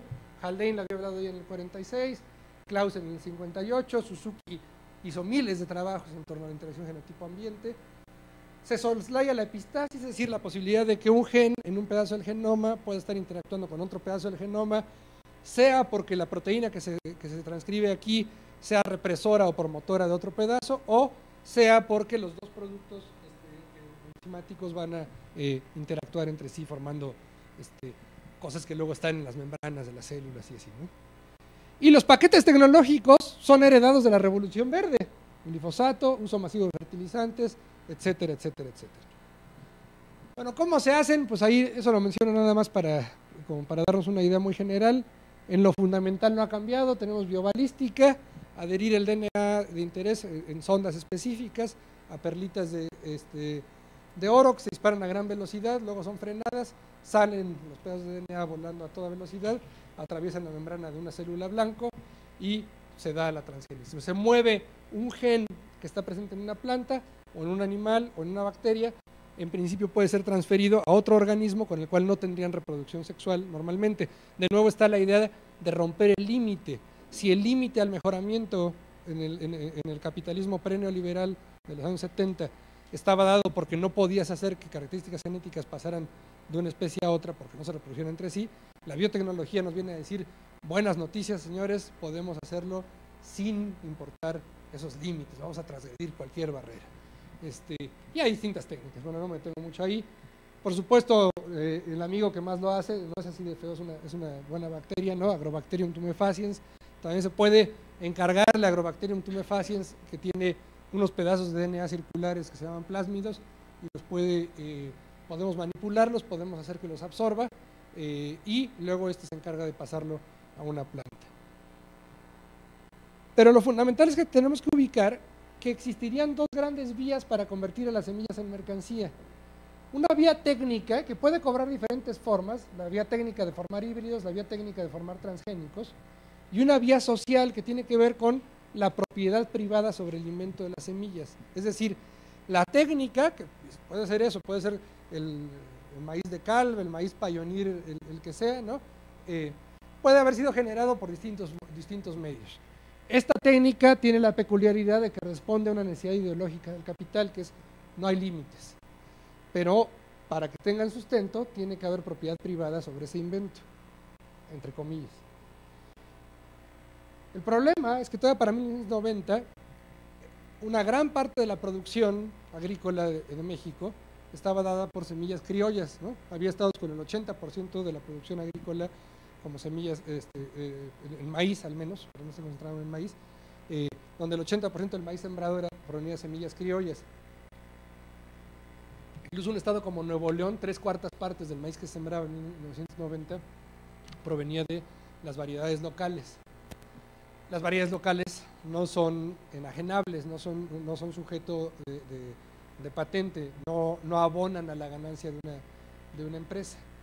Y entonces pues, lo que va a ocurrir a partir de los 90 es un intento, una toma por asalto sistemática de este espacio que va a tener que ver con dos vías. Uno, el despoblamiento del campo ¿no? y la destrucción del campo mexicano por la vía de la reforma al artículo 27 constitucional, ¿no? Eh, la posibilidad de, enajenar la tierra, de, de, quitarle a la gente el control del instrumento universal de producción, como lo llama Marx, y por el otro lado, diferentes campañas que van a promover vías técnicas de conversión de la, O sea, el grano ya existía como semilla. Venían los postecas y vendían grano aquí en Tlatelolco, ¿no? Eran comerciantes de grano. Pero casi nadie vendía semillas. La venta de semillas se puede rastrear al siglo XIX en Estados Unidos de manera muy clara, ¿no? Aparecen las tiendas de las grandes compañías semilleras. Entonces el capitalismo va en contra de la diversidad de los cultivos buscando generar semillas mercancía propias Pueden ser híbridas, pueden ser transgénicas o la moda por venir. No sé qué moda vayan a inventar después. Pero la idea es generar una semilla que tenga características muy peculiares. Luego, despojar a la tierra como destrucción del espacio social eh, de, la, diversidad. Es decir, si la gente ya no tiene control sobre la tierra o lo que antes era un campo de cultivo se convirtió en un centro comercial o en casas geo o en una cosa de este estilo, pues entonces el espacio social donde esa diversidad era mantenida y sostenida sistemáticamente en un contexto de ambientes cambiantes, pues va a desaparecer. Y al tiempo se, van a, se generan consumidores uniformes y homogéneos. Entonces aquí está cómo va la, tendencia en Estados Unidos. El porcentaje de, cultivo de, maíz transgénico, bueno, ustedes pueden ver que todavía en los años 2000 andaba por el 20 y pico por ciento, hoy en día pues está como un noventa y tantos por ciento. Un gran pedazo del maíz transgénico produce el, llamado insecticida BT, o sea, proteínas CRI, se le pasó de, eh, de, la bacteria de la bacteria Bacillus thuringiensis la capacidad de producir proteínas de la familia CRI al maíz, con el problema de que la expresan constitutivamente en toda la planta, las concentraciones entonces ya no son exactamente iguales que en la bacteria, y entonces ya no cristaliza, y entonces lo que antes era un herbicida, un insecticida presuntamente de espectros reducidos, un espectro un poco más amplio y mata insectos que a lo mejor no queríamos que murieran, pero bueno, pues ahí está. A veces solo, muchas veces acompañado de la resistencia herbicida. Y la resistencia herbicida es la resistencia fundamentalmente al glifosato. Recientemente hay líneas que están probando para ser resistentes a una cosa aún más tóxica, que es el eh, 2,4-D, que es un, componente de la gente naranja. Eh, pero entonces ahí está, es el, grueso del, maíz. Eh, en el algodón andamos un poco peor, ¿no? Ahí está el algodón. Casi todo el algodón que se cultiva en Estados Unidos está, este, eh, es transgénico. Y si nos vamos a tendencias mundiales, lo que tenemos es que aquí está la cantidad de millones de hectáreas que se cultivan con transgénicos. Pues más o menos este, el 82% de la soya que se cultiva en el mundo es transgénica, 68% del algodón. 30% del maíz y 25% del aceite de, la cánola que se utiliza para aceite. Es decir, se ha expandido por el mundo de manera muy fuerte el modelo agroindustrial, ¿sí? Eh, porque al mismo tiempo se ha despoblado el campo de manera, o sea, de manera propositiva, quiero decir. Y entonces hay que tratar de detenernos para ver qué implica, más allá del problema, o sea, porque hay un, hay un problema ambiental que sí, que, sí es muy claro, ¿no? Es decir, eh, el paquete tecnológico que incluye alta mecanización, altos insumos, altos fertilizantes y alta cantidad de herbicidas puede generar en el largo plazo problemas de bioacumulación que podrían ser relevantes este, a diferentes escalas. No tenemos todavía información suficiente para eso y a veces eso nos cuesta mucho trabajo decirlo, no lo sabemos todavía, es lo que duele mucho decirlo. Vamos a ver por qué no lo sabemos todavía después, pero bueno, pero quiero determinar en otro problema, que es qué pasa con el, con el proceso productivo. Entonces, ahí está la fórmula, la forma general de, reproducción del capital que plantea Marx este, eh, en el tomo 1, ¿no? Eh, DMD, eh, o sea, dinero se convierte en mercancía, que se convierte en dinero prima, pero hay que un detallar una cosa que Marx después desmenuza bastante bien en el, en el capítulo. Dice, no toda masa de dinero es capital, podríamos tener una cierta cantidad de dinero sobre la mesa y eso no es capital, de la misma manera que no existe el capital biológico de México, eso es una cosa que muchos se creyeron, ¿no? O sea, el capital es una relación social, ¿no? Entonces no puede existir en la naturaleza. capital es capital cuando se le introduce esa forma de relación social. ¿Qué caracteriza esa relación social? Que ese dinero va a ser utilizado para comprar materias primas y fuerza de trabajo que van a interactuar con los medios de producción y eso es lo que constituye al capital como tal. Entra al proceso productivo originando mercancías que van a generar un dinero incrementado cuya, magnitud va a ser mayor que la de original, que va a entrar a otro ciclo de reproducción como capital. Pues hasta ahí todo va bien. ¿Qué implica eso para la agricultura? Para la agricultura, en el proceso de formación de semillas híbridas, transgénicas, por eso digo, el problema, perdón, ¿no? Pero no son en, este, en ese sentido preciso, no son los transgénicos, sino el proceso de transformación social que va ahí. El aparato científico técnico de la sociedad provee fuerza de trabajo a un proceso de formación de semillas. Este esquema no es, este esquema no es original, es una adaptación de un esquema de Jack Kloppenburg, por ahí va a venir adelante la referencia, que va a actuar sobre ciertas materias primas, pero esas materias primas no son materias primas en abstracto, son materias primas que son despojadas, saberes comunes, ¿no? este, eh, saberes locales, qué hace la gente, qué sabe de la gente, para qué sirve este maíz, para qué no sirve, que entra al proceso de producción y entonces va a producir para la compañía semillera una mercancía específica de cal fulano de tal, pioneer fulano de tal, y que en el producto de su venta va a obtener un dinero incrementado que va a ser capital incrementado en el siguiente ciclo, ciclo productivo y así sucesivamente. El problema que tenemos es que eso coexiste con otras formas de existencia que ni siquiera son eh, precisamente capitalistas. Un campesino con algún nivel de... Es decir, campesino es un agricultor que participa de eh, algún nivel de, que tiene algún nivel de participación en una institución comunitaria o de vida colectiva. No siempre es que la tierra es de propiedad colectiva, a veces es la fiesta u otra cosa, pero hay diferentes niveles. En la fase productiva interactúan fuerza de trabajo y materias primas y se producen dos cosas. Se, produce, se puede producir una mercancía simple, un grano que se va a vender y se va a obtener otro valor de uso. Aquí estamos todavía en una forma precapitalista, mercancía, dinero, mercancía. Pero por el otro lado se va a producir una semilla y grano de autoconsumo, es decir, va a existir como valor de uso, como un medio de consumo inmediato, pero también aparece como un medio de producción, como una materia prima que va a entrar al siguiente ciclo de reproducción. Este podría, este no depende de esa, este, alguien que siga este ciclo no va a comprar, no, no es sujeto de compra de esa semilla, no lo necesita porque para la reproducción de su proceso productivo está relativamente autocontenido. Habrá intercambios de semilla entre comunidades, entre, entre parientes, y habrá años malos en los que se pierda mucha semilla y demás. El agricultor, una vez que es reducido a farmer en el sentido de los Estados Unidos, también podría existir sin necesidad de participar de la compra de esa semilla. En un primer momento podría estar utilizando su semilla y guardándola de un año a otro. Lo que se impone a lo largo del siglo XIX para Estados Unidos es forzar al agricultor por diversas vías a que cada ciclo productivo actualice la ganancia de capital de la empresa semillera, con lo cual parte de los cuantos de trabajo, parte del producto social global que está aquí produciendo el agricultor farmer, el agricultor, el pequeño propietario individual este, con el que soñaba Thomas Jefferson en Estados Unidos, está actualizando la ganancia de la compañía que está siguiendo su propio ciclo de reproducción de capital. Puede ser que incluso este farmer ya esté comprando más de fuerza de trabajo de jornaleros mexicanos o, centroamericanos o de cualquier otro lugar y que los esté poniendo a trabajar ahí. Y que esté pensando ya en términos capitalistas, que esté pensando como capital que se va, que tiene que seguir adelante su proceso de acumulación. Pero este es un capital que es comparativamente pequeño, que vive muchas veces en el contexto de la deuda, este, teniendo que sacar otro crédito para un nuevo tractor y demás. El sueño de las empresas semilleras es garantizar que esto nunca jamás ocurra, que el paso, la reserva de semillas no pueda existir.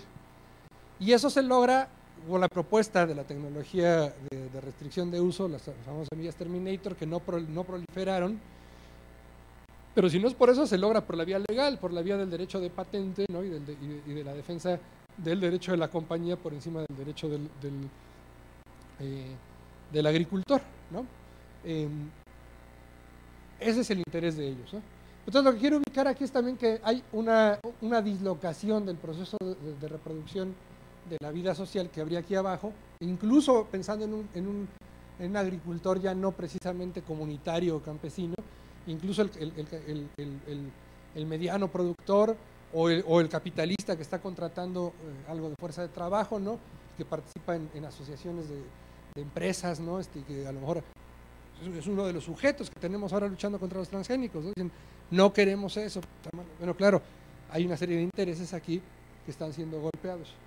Pero en México lo que no podemos olvidar es que todavía tenemos esto, todavía existe. Y no solo es que todavía lo tenemos como ay, qué bonito nuestro sitio de peluches, ay, qué bonito, ¿no? No, es, esta gente está hablando con su propia voz y está diciendo lo que quiere decir al respecto de cómo quiere vivir.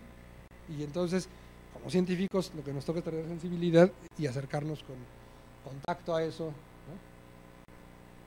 En el camino aparecía esta paradoja, la famosa agricultura de la que se hablaba, sin labranza, San Marx lo que nos dice es que el, capitalismo, conforme se apropia de un proceso productivo, lo va a ir transformando en su forma. Y, el ejemplo más claro sería la agricultura sin labranza. Eh, la agricultura con labranza, pues desde el punto de vista del capital, ya bien tecnificada y demás, implica pues varias pasadas con distintos tipos de arado para estar eh, eh, modificando las condiciones del suelo. La labranza es muy relevante, incluso cuando la vemos en un campo cualquiera, porque la labranza lo que va a permitir, eh, y, en el caso del maíz, por ejemplo, aquí en, Tlaxcala, que es el sistema que más o menos conozco, el doble paso del, surco, ¿no? Es decir, pasa uno por primera vez el arado, siembra uno abajo del surco, brota la planta de maíz y la ventaja es que, eh, bueno, se concentró la humedad abajo, pero además como hay tierra a ambos costados del maíz relativamente alta, las semillas que pudieran haber quedado están enterradas muy abajo, las semillas de hierbas o de malezas, tal que no alcanzan todavía a brotar brota el maíz y brota más rápido porque tiene más humedad, y ya que alcanzó cierta altura, se vuelve a voltear el surco y se avienta la tierra por encima del maíz. En el camino se disrumpe el proceso de germinación de otras, otras posibles malas hierbas que puedan haber ahí, y entonces la labranza lo que garantiza es darle una ventaja al cultivo de interés. Pero eso pues, cuesta petróleo, este, tractores y demás cuando estás pensando en grandes extensiones de la Pampa Argentina, ¿no? Y pues este pues, no funciona muy bien. Una alternativa a eso es ir tomando eh, eh, modos de producción que vayan requiriendo cada vez menos pasadas de, tractor, pasadas de labranza, hasta llegar al extremo que es lo que le llaman eh, sin labranza. Pero entonces, si no está el, el volteado de la tierra para limitar el crecimiento de las malas hierbas, ¿cómo se limita? La propuesta del capital es progresivamente echas más glifosato, un herbicida que va a estar garantizándote que, todo lo que pudiera abortar ahí pues se va a morir, ¿no? Con el problema adicional de que nos hemos concentrado muchísimo tiempo en el glifosato, pero de unos años para acá, faena fuerte, que es la como, como, estaba muy quemado el nombre de Roundup, en México casi no lo comercializan como Roundup, lo, lo, comercializan como faena o faena fuerte. El problema es que faena fuerte es, una, es la combinación de dos sustancias, el glifosato normal y una sustancia cuya naturaleza química habría que voltear a ver y estudiar con más calma, que lo que hace es abrir la cutícula de las plantas este, de manera que la absorción sea mayor. Entonces habría que estar atentos a qué, qué puede hacer esa otra cosa. Este, el glifosato eh, tiene eh, el problema de, que tampoco se ha estudiado de manera correcta su bioacumulación la OMS eh, ha determinado que puede estar asociado a cáncer y que, tiene, y que tiene una dosis letal que aparentemente es muy grande. Pero qué tan grande o qué tan chica es la dosis letal de glifosato depende de si se bioacumula o no se bioacumula. Es decir, si a lo largo de una cadena trófica cada uno de los participantes puede tener más glifosato o no. Eso no lo sabemos todavía, pero es algo a lo que hay que poner atención. Obviamente hay una concentración generalizada. Fíjense, no son solo las semillas transgénicas. O sea, este es el mercado mundial de semillas como, como, medio, como insumo para la producción. DuPont y Monsanto controlan el 62% del mercado. Y si sumamos Ingente, 72% del mercado. Tres compañías controlan casi tres cuartas partes del mercado. Luego Bayer y estos otros que también están en la onda farmacéutica, 6%.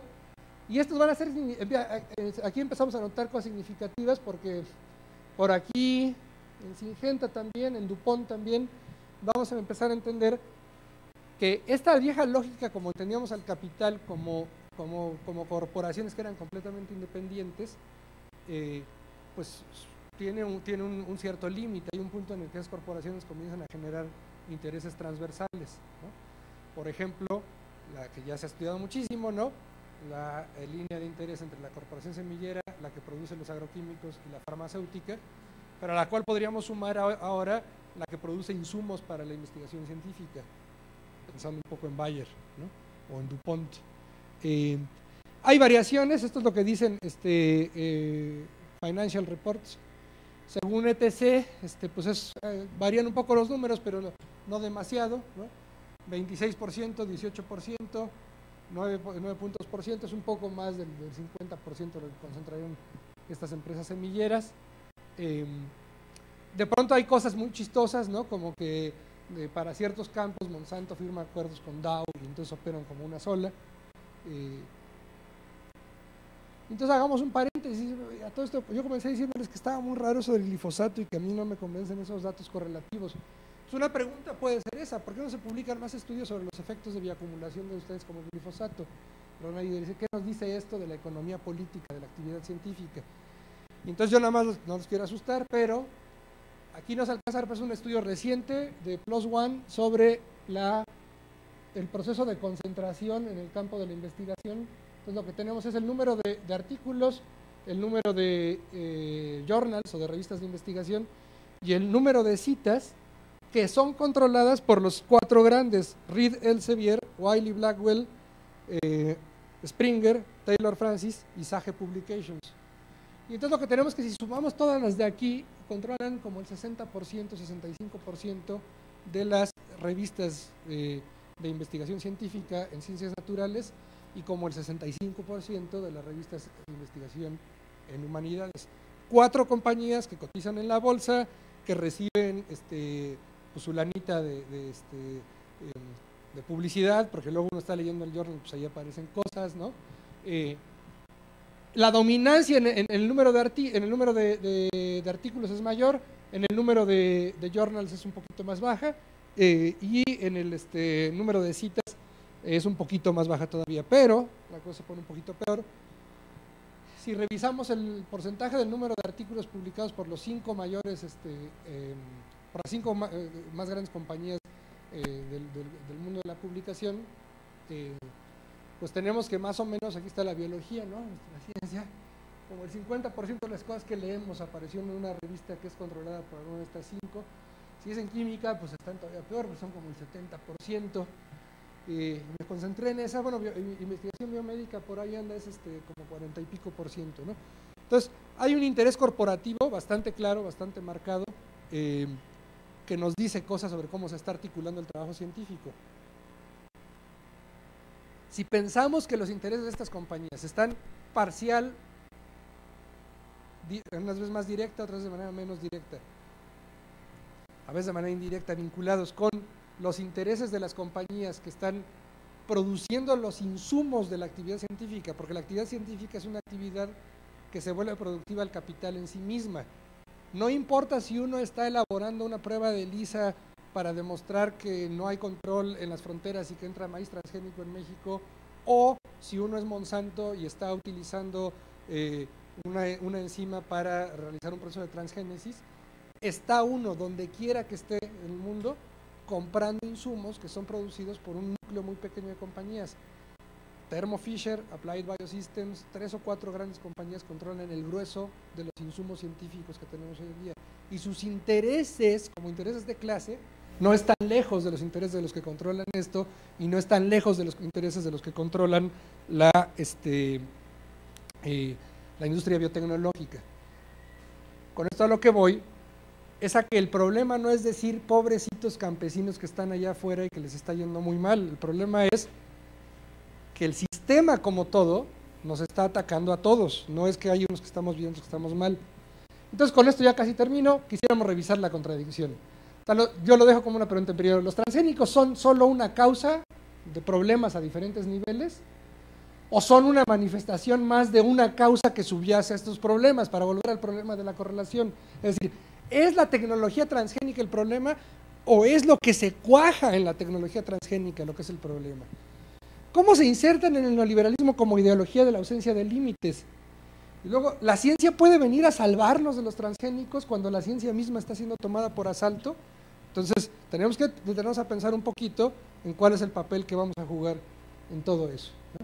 Ahí está otra vez el campo bien bonito, ¿no? Entonces, las semillas patentadas, sean híbridas o transgénicas, forman parte de un proceso de homogenización y de concentración que es más amplio. Quienes no producen ni consumen las mercancías que generan ganancia al capital estorban con todo y su cultura, y lo podríamos ampliar quienes no producen la ciencia que necesita el capital para poder producirse, estorban con todo y su cultura. Quienes no publican en las eh, revistas que, forman parte del corpus este, central del capital, pues van a estorbar a la larga. Esa diversidad evidentemente está en riesgo, pero esa diversidad está en riesgo no porque nos interese el paisaje bucólico del campesino como buen salvaje al que, al que como científicos tendríamos que salvar, nos interesa esta diversidad porque en esta diversidad nos estamos jugando nuestra condición política, nuestra condición de ser capaces de decidir sobre nuestra propia vida social, que incluye qué queremos comer y cómo lo queremos comer. Eso es lo que sí está en juego. ¿sí? Y entonces pues, tenemos que voltear a ver esto, insisto, no como un espacio libre de contradicción, sino como un espacio donde la contradicción tendría que poderse desarrollar de manera más amplia y plena, con la diferencia de que los sujetos de esa contradicción sean ellos mismos y, seamos nosotros mismos seamos capaces de eh, tomar control de ella. Entonces el problema del hambre no es un problema técnico, por ahora, ¿no? Este, eh, podría serlo en el futuro, lamentablemente. Los serás y la expansión de la producción y consumo de mercancías homogéneas persiste. Los cultivos transgénicos, desde, desde mi punto de vista, son una expresión de los ciclos de destrucción, despoblamiento, reconstrucción, reordenamiento propios de esta etapa del capitalismo esa es la caracterización que ha hecho el ZLN de esta etapa. El cuestionamiento, por tanto, no puede ser solamente una tecnología, sino los procesos que se sintetizan en ella. Semillas, territorio, alimentación y cultura son pues un escenario de una confrontación con el poder. La defensa de la humanidad necesita entonces otra tecnociencia, una tecnociencia explícitamente política y antisistémica, pero necesita también de otros actores, de otra forma de relación. No existe, pues, ni el paraíso campesino por salvar, ni la vanguardia científica que nos debe de salvar. Así lo dicen ellos. El Tratado de Libre Comercio es el plan de destrucción del campo mexicano y la entrada de productos y semillas transgénicas a nuestros suelos. Y para que esto sea legal, modifican el artículo 27 constitucional y para que nuestras tierras sean acaparadas legalmente y convertirnos nuevamente en sus sirvientes de grandes terratenientes, impulsan el programa de privatización de las tierras a través del programa Procede. No lo dijo un académico, lo dijo el comandante Tacho el 1 de enero del 2006. Entonces, Neruda, cuando recibió el premio Nobel hace ya algunos años, dijo una, cosa que a mí me gusta mucho, porque ahí donde dice escritores, podríamos decir científicos. ¿no? Entonces lo que nos dice es, comprendí, metido en el escenario de las luchas de América, que mi misión humana no era otra sino agregarme a la extensa fuerza del pueblo organizado, agregarme con sangre y alma, con pasión y esperanza, porque solo de esa henchida torrentera pueden hacer los cambios necesarios a los escritores, diríamos a los científicos, y a los pueblos. ¿no? Y después lo eh, desarrolló en un libro que se llama Para nacer y nacido, que es un libro muy bonito. ¿no? Y bueno, pues ya, con eso termino mi parte aquí. Este, muchas gracias a ustedes.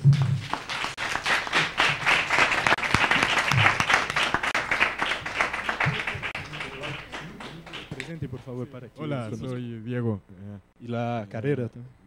La, de, de, arquitectura. Este, eh, bueno, eh, me pareció muy interesante la exposición.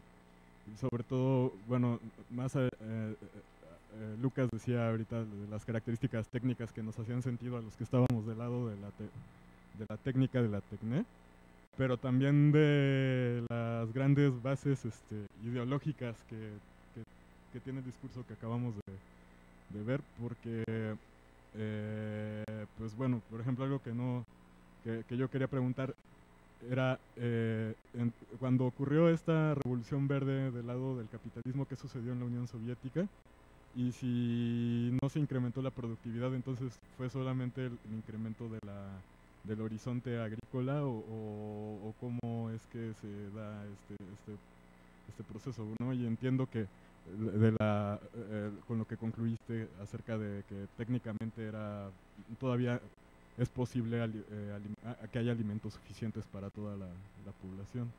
Entonces nada más, bueno, esas, dos preguntas de qué pasó en la Revolución Verde en, ese espacio soviético. Sí, mi nombre es Andrés y soy de la carrera de Sociología aquí en la UNAM.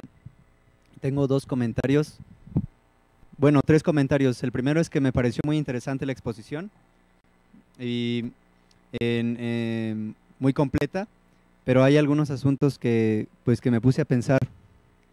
El primero tiene que ver con, con el elemento de aumentar la productividad y yo quisiera poner en la discusión que bajo el sistema capitalista eh, aumentar la productividad significa aumentar los excedentes, ¿no? Y en ese sentido es interesante pensar en cómo no, no se trata solamente de aumentar la producción de alimentos, sino aumentar la producción de alimentos en el sentido en el que permita aumentar los excedentes, ¿no? que es el objetivo final. Entonces me, pareció muy interesante pensar en cómo eh, la Revolución Verde tiene también un papel en el sentido de abaratar la mercancía que permite generar el valor, ¿no? que es la fuerza de trabajo. Entonces me hizo pensar mucho en cómo la producción de alimentos a gran escala industrial abarata de alguna forma y para ciertas sociedades eh, la canasta básica y de alguna forma barata la fuerza de trabajo y permite como de alguna forma la, generación de excedentes. Incluso esta cuestión de dejar de labrar el campo es una forma de abaratar también eh, la fuerza de trabajo y se me, hizo, se me hizo muy interesante tratar de hacer esa conexión, digamos, con el sistema de salarios en algunos países, por supuesto, mientras que en, unos países se da como la, la, expropiación de las semillas y la monopolización ¿no? de las semillas, en otros países al mismo tiempo se da como la, el abaratamiento de la fuerza de trabajo y eso permite hacer como un juego también ahí para aumentar los excedentes. Y, eso se me hizo muy interesante también pensando en la cuestión que, mencionabas un poco de del consumo y de eh, el consumo como también en una, en una dimensión semiótica, con este tema de la homogeneización, eh, ¿no estaríamos hablando también entonces de una homogeneización en términos como semióticos y de significados? Es bien interesante, ¿no? Pensar en, cómo esto permite además la disciplina del ser humano para justo seguir aumentando la, productividad, ¿no? Y, reducir los riesgos. O sea, yo me ponía a pensar en cómo eh, la diversidad y la diversidad de significados incluso aumenta eh, el riesgo eh, de que el ser humano, digamos, no se ajuste a una disciplina productiva de los excedentes. Entonces esas dos cuestiones a mí me han, llamado mucho la atención, ¿no? Por un lado la cuestión de, del abaratamiento de la fuerza de trabajo y por otro lado el de la disciplina y de la homogeneización, ¿no? E incluso al papel del, del consumidor, como mencionabas un poco al final, de, de incluso no tener la capacidad de decidir sobre qué forma le queremos dar a la propia forma en la que satisfacemos nuestras necesidades.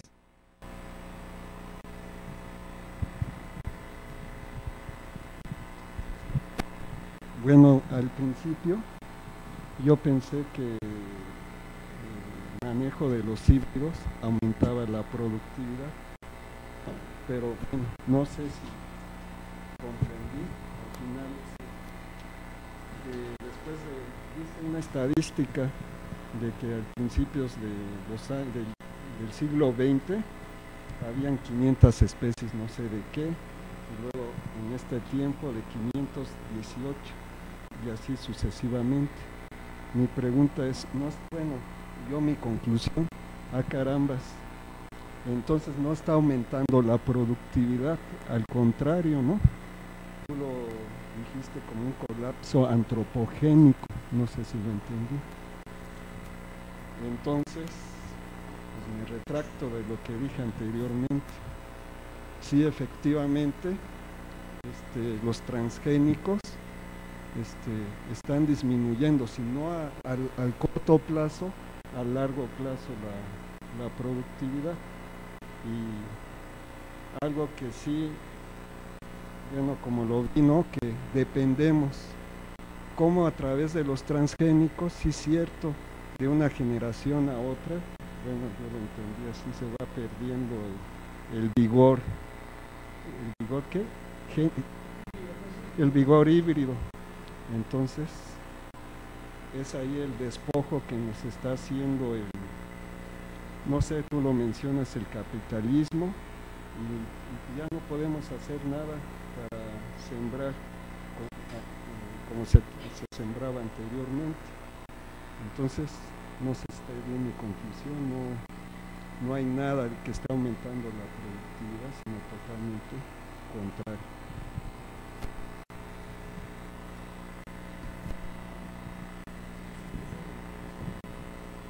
Hola, mi nombre es Ernesto.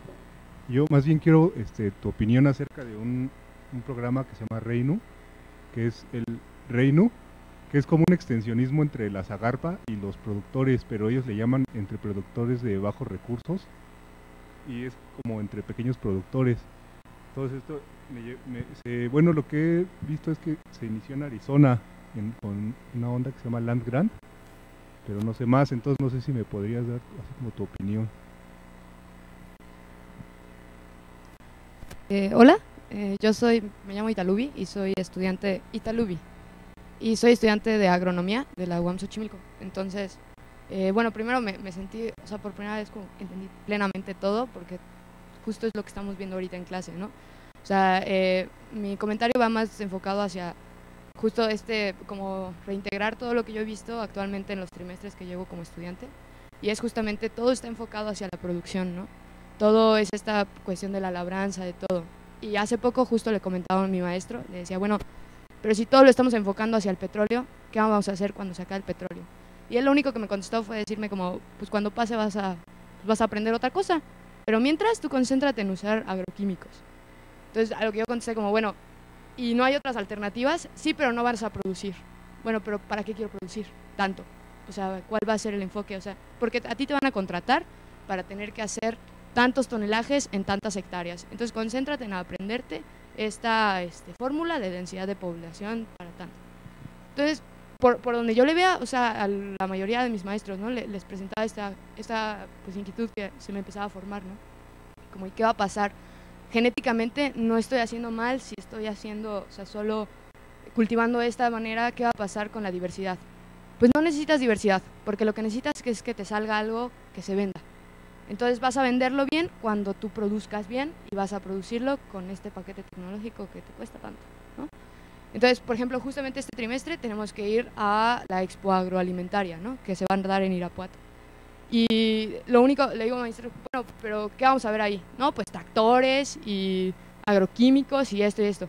digo, bueno, pero ¿no hay otra cosa? Sí hay orgánicos, hay orgánicos. Y pues tú vas a ver orgánicos si quieres, ¿no? Te pierdes ahí cuatro días a ver lo orgánico pero no hay nunca este interés de, enseñarnos otra cosa. Entonces, también a, lo que voy con todo esto es la formación de agrónomos que estamos en la actualidad, ahorita, ¿no? O sea, yo como, la siguiente generación que pueda salir, estamos este, aprendiendo a partir de la producción, por una producción masiva y desmedida con el ambiente. Y se me hace hasta simpático porque cuando le preguntas a mi maestro, ¿y qué va a pasar con el ambiente? ¿O qué va a pasar con el suelo que estoy lastimando? ¿Qué va a pasar con las aguas? ¿Qué va a pasar todo esto? Pues luego llega un biólogo y te ayuda. Esa es la respuesta, ¿no? O sea, no. Nada más. Hola. Hola.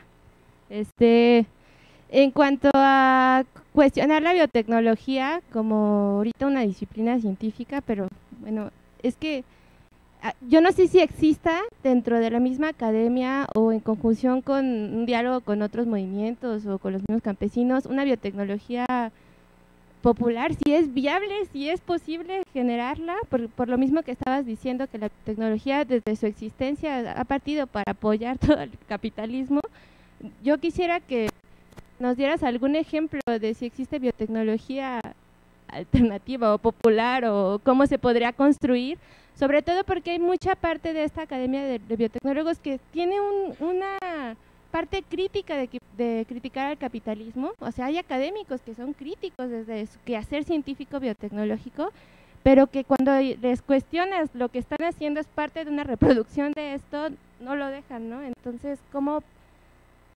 poder tener un diálogo con ellos sin que lo dejen a un lado? O sea, no sé si haya propuestas de una biotecnología alternativa. Lo digo porque estuve en el Instituto de Biotecnología, ¿no? Entonces, para mí es, yo como persona también tengo esas contradicciones. Eh, una...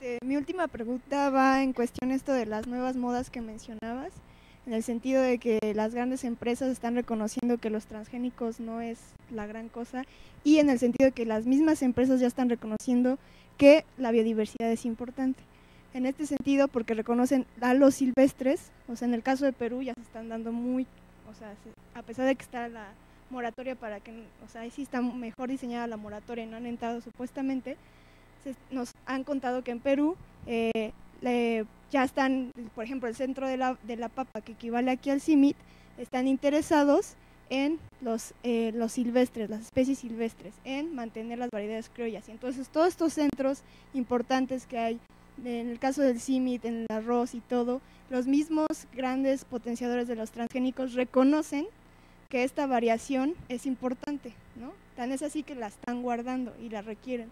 Entonces yo no sé si en esta nueva moda, o sea, tú qué sabes, o si esta nueva moda va a implicar como proteger estas variedades criollas, pero bajo nombre de patentes, que ya lo habías mencionado, ¿no? Y si esta moda va a ser la que va a continuar, porque ellos perfectamente saben que los transgénicos, pues ya no, ya como que puede quedar atrás. Eh, quisiera hacer una, una, pregunta, hacer un comentario y pregunta. El tema, o sea, hablas en general de, de, la ciencia, cómo la ciencia está, ¿no? Eh, cooptada. Eh, y ahí hablando afuera con los chicos, yo me acordé que hace como 8 o 10 años yo participaba en una investigación de conflictos ambientales en Brasil y justo entrevistamos una trabajadora de trabajadora rural que trabajaba con, con flores, ¿no? Y que estaba, o sea, había tenido mucho, o sea, había tenido un aborto, eh, su hijo había nacido con malformación, o sea, todo vinculado a su actividad, ¿no? Es una actividad que lleva mucho agroquímico, o sea, fue una entrevista muy emotiva, de hecho, porque ella, lloró y, ¿no? Y nos contaba en carne propia eh, sentir todas esas contradicciones ¿no? en su cuerpo, ¿no? en su territorio. Y, eh, y, una de las cosas que ella, que ella dijo fue que, por ejemplo, ellos cuando sentían cualquier, eh, se sentían mareados o algún, ¿no? cualquier cosa, eh, lo llevaban al médico de la, de la empresa y ese médico de la empresa le daba un- una droga que justamente tenía eh, el efecto de esconder, eh, la, eh, ¿no? O sea, como que así nos dijo ella, no sé hasta qué punto eso existe o no. Le daba una droga eh, que inhibía, o sea, que después, cuando ella iba a hacer pericias para intentar no procesar a la empresa por haber sido contaminada en su actividad laboral, ya no se, no se había vestigios en su cuerpo de la contaminación inicial, ¿no? Y después descubrieron que ese médico era conivente con ese proceso, ¿no? Entonces, eh, esta introducción es para eh, que, que hables un poco de, de- de la medicina, ¿no? O sea, y hasta qué punto eh, la medicina está eh, cooptada también. O sea, como que parte, eh, Andrés hablaba de los riesgos, o sea, parte, o sea, justamente los productores de riesgos intentan ocultar esos riesgos, ¿no? O sea, técnicamente y científicamente, o sea, a través de la ignorancia logran perpetuar su modelo. Cada vez más. Entonces, ¿hasta qué punto la, la medicina está vinculada a y, y cómo podemos colonizar la medicina también, ¿no? Y intentar eh, reapropiar ese conocimiento, como por ejemplo los médicos de pueblos fumigados en Argentina. Que, que, que está junto a una cadena de, de redes de investigadores de pueblos fumigados y que semana pasada y hay también una consulta sobre el tema del glifosato. Ellos descubrieron y, en un congreso que hicieron, y todo eso hablando de, eh, de ciencia popular, ¿no? O sea, que eran redes como esa, y descubrieron, por ejemplo, que en, en Argentina el total de, o sea, ¿no? de algodón higiénico, toallitas higiénicas, ¿no? Que usan la- las mujeres que, que, que llevan algodón, tenían glifosato, ¿no? Y, y ellos, tanto que la primera, cuando, o sea, hay un relato científico de que cuando descubrieron, en la primera pensaron que algo había salido mal, o sea, en su metodología, ¿no? O sea, no puede ser. Y empezaron a abrir varias y varias y abrían con total cuidado que no se contaminara y empezaron a ver y dijeron, o como casi todo el algodón de Argentina es transgénico y llegar a esa conclusión, ¿no? Entonces, digo, ¿y qué efecto eso puede tener, no? O sea, eh, incluso cosas medici- ¿no? que, que se usan en la medicina, ¿no? Ya está llegando el glifosato y, eh, sí, creo que era eso. Y, ah, o- ok, y, y un contexto acá ahora, ¿no? Que se está debatiendo mucho en la UNAM también el tema de cambio de rectoría, ¿no? Y incluso la posible cooptación de la próxima rectoría, ¿no? A- al gobierno de facto, la importancia de la autonomía de las universidades públicas, ¿no? En, ese en ese- esa necesidad de construir conocimiento contrahegemónico, ¿no? O sea, de las revistas eh, independientes, ¿no? Que pueden publicar estudios críticos y etcétera. Entonces, estar siempre vinculado a eso, ¿no? O sea, la importancia de este espacio por, por ser un espacio de universidad pública, ¿no? Donde podemos estar debatiendo y formándonos en esos temas. Entonces, como una reflexión también de que hablaste. Ah, ah, ahorita y son un montón de cosas que apunté ahorita aquí. A ver, a ver cuál es, eh, si no se me va alguna cosa, pero y voy a tratar de, de, como de ir eh, hilándolo, ¿no?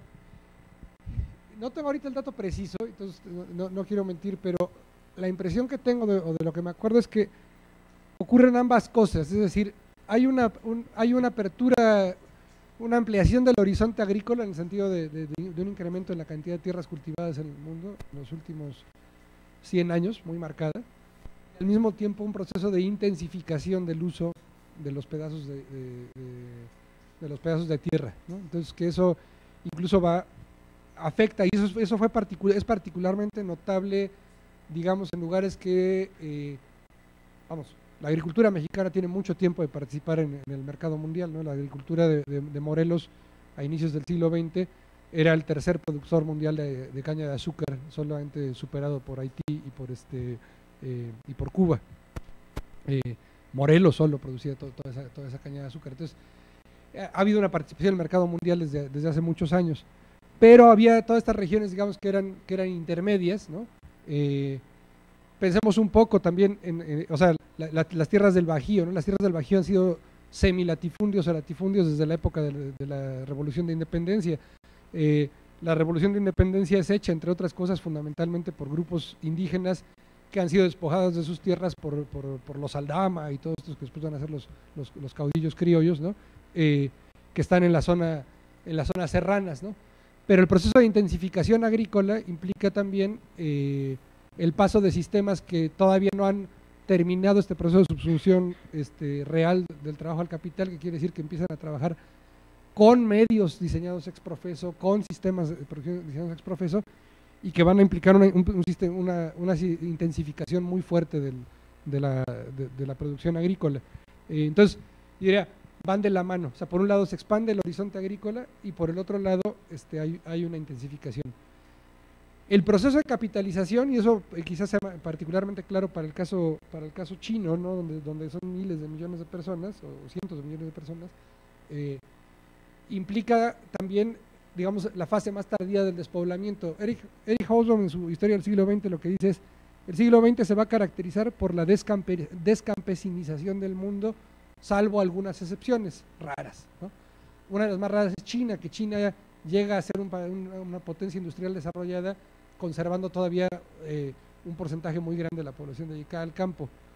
Eh, el libro de Hausbaum cierra eh, en, el- en la caída de- de- de- del muro de Berlín este, y la caída del bloque socialista en el 91, y justamente a lo que asistimos en los 25 años que siguen desde que termina su análisis Eric Hausbaum, es este tránsito, ¿no? O sea, por eso decimos muchas veces, no, o sea, el proletariado no es el, no es el proletariado industrial clásico en el sentido, eh, en el sentido de- de la Europa del siglo XIX, y sin embargo, nunca como ahora han habido tantos obreros industriales como hay hoy, porque 150 millones de chinos dejaron de ser campesinos y se convirtieron en obreros del sudeste de China en los últimos 25 años y después le tocó su ronda, o le está tocando su ronda a, este, a Vietnam y a otra serie de lugares, ¿no?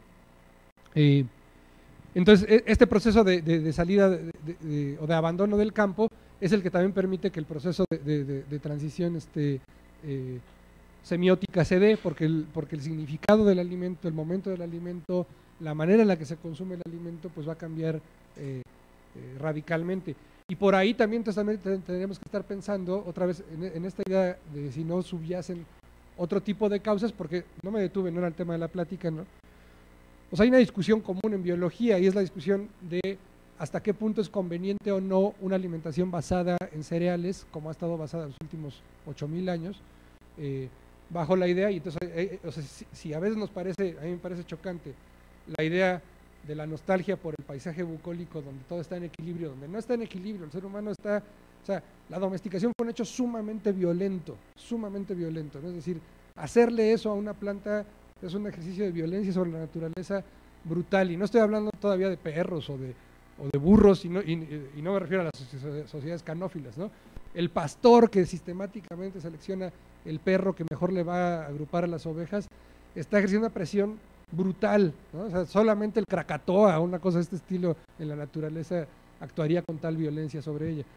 Eh, pero si eso nos parece chocante, habría otra forma todavía más chocante, que es la, forma chocante que es muy común en algunos biólogos, que dice, es que el error fue la agricultura, eh, las sociedades de cazadores recolectores, como tienen una alimentación más diversa, vivían mejor y entonces ahora pues en realidad todos nuestros problemas de salud, ¿por qué? Porque no les, daba caries, porque no tenían tanto almidón en la boca todo el tiempo y entonces no había sustrato para que las bacterias crecieran y no te, picaba una muela nunca. ¿no? Claro, siempre olvidan decir, y una fracción muy grande de la población se moría de hambre el día que no había suficiente para cazar al mamut, pero este... eh, no, pero a lo, a- a- lo que voy es a este punto. Esta transición social que implica el paso de un modo de vida en el que el trabajo implica un cierto nivel de actividad física y, un cierto, y una cierta forma de, de- de desplazarse y demás, y que es sustituida por un modo de vida mucho más sedentario este, o más asociado, más marcado por, por, la propia producción, ¿no? Alar- que alarga las, la- las jornadas de trabajo de manera innecesaria eh, todo el tiempo y, y- demás, es quizá el, el- el otro factor que está subyaciendo a estos correlatos eh, que hablan de los incrementos en el autismo, en la obesidad, en la diabetes y demás, y no es solamente el grano en sí de forma aislada, sino en un contexto muy específico. El problema es que no hemos resuelto el problema de la, o sea, la- no ha existido, no, no hemos, ha existido y existe ahorita en pequeñas ventanas del mundo, pero, pero como una tendencia generalizada, esta, esta ruptura con, con una idea sacrificial de la producción. Es decir, ¿qué distingue al ser humano? El ser humano efectivamente es capaz de producir por encima de la necesidad. Entonces, socialmente organizados, podemos producir nuestros satisfactores en una fracción de tiempo chiquita y tener un balance calórico positivo. Si tuviera que ser una definición termodinámica del ser humano, esa es una de, de- de las tantas, pero que solo surge socialmente. si somos capaces de producir por encima de nuestra necesidad, entonces una sociedad de productores libres debería de ser capaz de abandonar la fase sacrificial en el sentido de decir, tengo que dejarlo todo en aras de incrementar la producción. Y eso es lo que no ocurre justamente en la Unión Soviética. La Unión Soviética, como, como proceso, sin entrar a una caracterización profunda, no es una sociedad de productores libres por cuanto la propiedad de los medios de producción pasa de ser eh, eh, privada a ser estatal, ¿no? Eh, es decir, hay un ente que es el Estado que presuntamente está representando al, al, grueso de la sociedad, que es el propietario, el propietario de los medios de producción. Y eso implica que, la sacrificialidad este, permanezca. Entonces, la, la, idea es una de las definiciones de, modernidad, ¿no? de, modernidad específicamente capitalista. La modernidad específicamente capitalista y occidental va a colocar en el centro de su esperanza de, como proceso civilizatorio a la técnica. Y la técnica, la, técnica entendida como, como, aparato científico técnico opuesta al mundo oscurantista medieval, eh, va a estar en el centro del discurso burgués. Y la Unión Soviética no va a renunciar en ningún momento a ese, discurso. el aparato científico técnico, como aquel que nos, o sea, la vieja promesa de, que la verdad nos haría libres, ¿no? Este, se va a seguir manifestando ahí, pero bajo esta forma muy particular, ¿no? Es decir, más conocimiento, más tecnificación va a incrementar la productividad. Entonces, ¿qué pasó? Pues pasó esencialmente lo mismo. O sea, si había que, si había que cambiar el curso del Volga para poder irrigar los campos de cultivo de Ucrania y que la productividad de trigo se incrementara, lo hacían. Y si eso implicó este, salar más el mar Caspio, bueno, pues pobre el mar Caspio, este, ya, ya, llegará otro río algún otro día este, por ahí, pues, pero ese tipo de decisiones estuvieron permeando todo el tiempo, ¿no? No, hubo, no hay una renuncia como tal, lo cual implicaría repensar el, proceso civilizatorio, ¿no? Este, eh, entonces, esta, esta, eh, eh, bueno, es tan claro que incluso, este, esto trae un texto muy viejo, pero muy interesante, que mencionaba con otros compañeros hace rato, eh, cuando Levins y Lewontin discuten el problema del lisenquismo en la Unión Soviética, y entonces van a demostrar que la ausencia de genética mendeliana no significó una diferencia cualitativa importante, ni cualitativa ni cuantitativa importante en la producción de alimentos en la Unión Soviética. O sea, a la muerte de, de Babilov en la cárcel en el año 43, y desde un poco antes, eh, Stalin prohíbe durante 20 años la genética mendeliana, o sea, va a ser levantada esa prohibición hasta la desestalinización a, principios de los 60. Eh, eh, es, un poco más complicado que eso, pero este, pero sí, entre otras cosas, este, sí.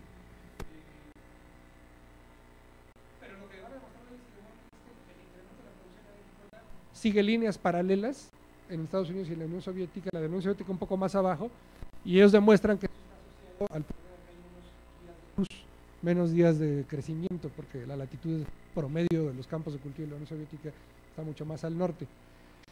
Pero incluso ahí está claro, o sea, la idea es producir más. O sea, todos los días nos estamos preguntando si, la, si la economía está creciendo o no está creciendo. O sea, bueno, no nos estamos preguntando, pero todos los días hay empresas que, y agencias que están reportando el crecimiento de la actividad económica, el crecimiento de la entonces no hemos abandonado eso y eso ha estado presente eh, allí. Un cambio de proceso civilizatorio pasaría, entre otras cosas, por replantearnos la necesidad de, incrementar siempre la, producción, porque hay un sujeto externo que nos lo ha demandado en distintos momentos. En la Unión Soviética era el Estado, en este caso es el mercado, ¿no? este, el sujeto social sustitutivo que lo está, que lo está haciendo. ¿no? El tema de la productividad,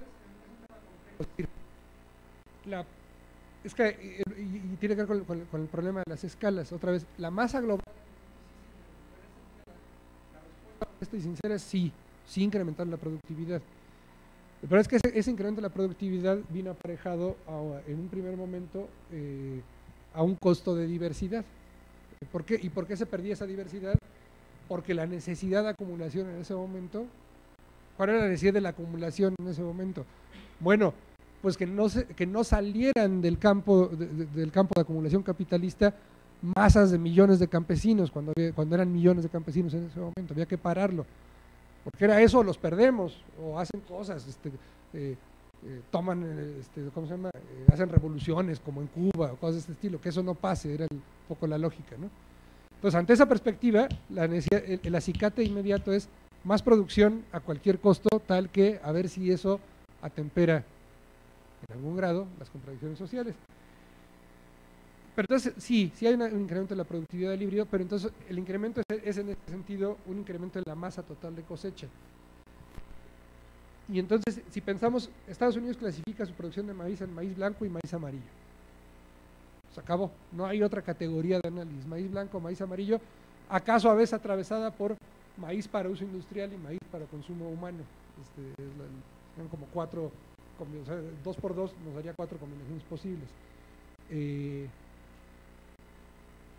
las 60, grandes tipos, para utilizar esa categoría eh, de locales de maíz, pues no se puede, eh, no, caben en esas cuatro categorías, son, son mucho más que eso.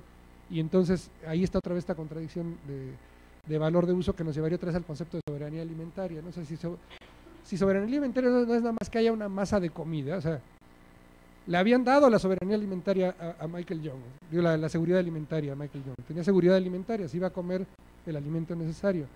Pero para decirlo en una caricatura, Michael Young en ese momento necesitaba su soberanía alimentaria expresada de una forma un poco torcida. ¿no? Eh, conozco esta cosa del, intercambio mediado por, por, Zagarpa este, entre pequeños productores. Lo que sí puedo decir de manera muy general, para no para no no, mentir, o sea, no, quiero, como no, sé, pues simplemente digo, no lo conozco, tendría, tendría que conocerlo y, buscarlo. Eh, es que la, mayoría de estos programas que pasan por el Estado, sobre todo en México, están pasando cada vez más por un fantasma. Es decir, ese fantasma que es el Estado mexicano de hoy en día, eh, administra la crisis nada más. tiene, poca, tiene realmente poco margen de maniobra para decidir qué hacer. Y algunos lo han abrazado propositivamente. ¿no? O sea, ustedes leen eh, el libro ese famoso que se llama, ¿se llama? en 2006, el famoso proyecto alternativo de nación de, este, López Obrador eh, eh, que publicó en Grijalvo y todo, ¿no? Además de decir que quería sacar al ejército a las calles y todas esas cosas que dice ahí, este, dice específicamente, es ahí donde parte la clase política lo agarra propositivamente, dice, tenemos que movernos para salvar al maíz siempre en el marco del Tratado de Libre Comercio, que implica que la más de la tercera parte de la, de la consumo nacional es este, importado, por, importado de los Estados Unidos. O el margen de decisión que tienen estos, estos, programas estatales este, a diferente nivel eh, es cada vez más reducido. ¿no? Y eh, pasa una cosa que nos comentaban alguna vez en una discusión que teníamos con los compañeros de Argentina, decían, sí, no, ya está, está muy fuerte el problema de los transgénicos y del modelo agroindustrial. Y entonces el Estado anuncia, bajo el kirchnerismo, vamos a abrir un programa para estimular la agricultura orgánica y agroecológica y tal, órale.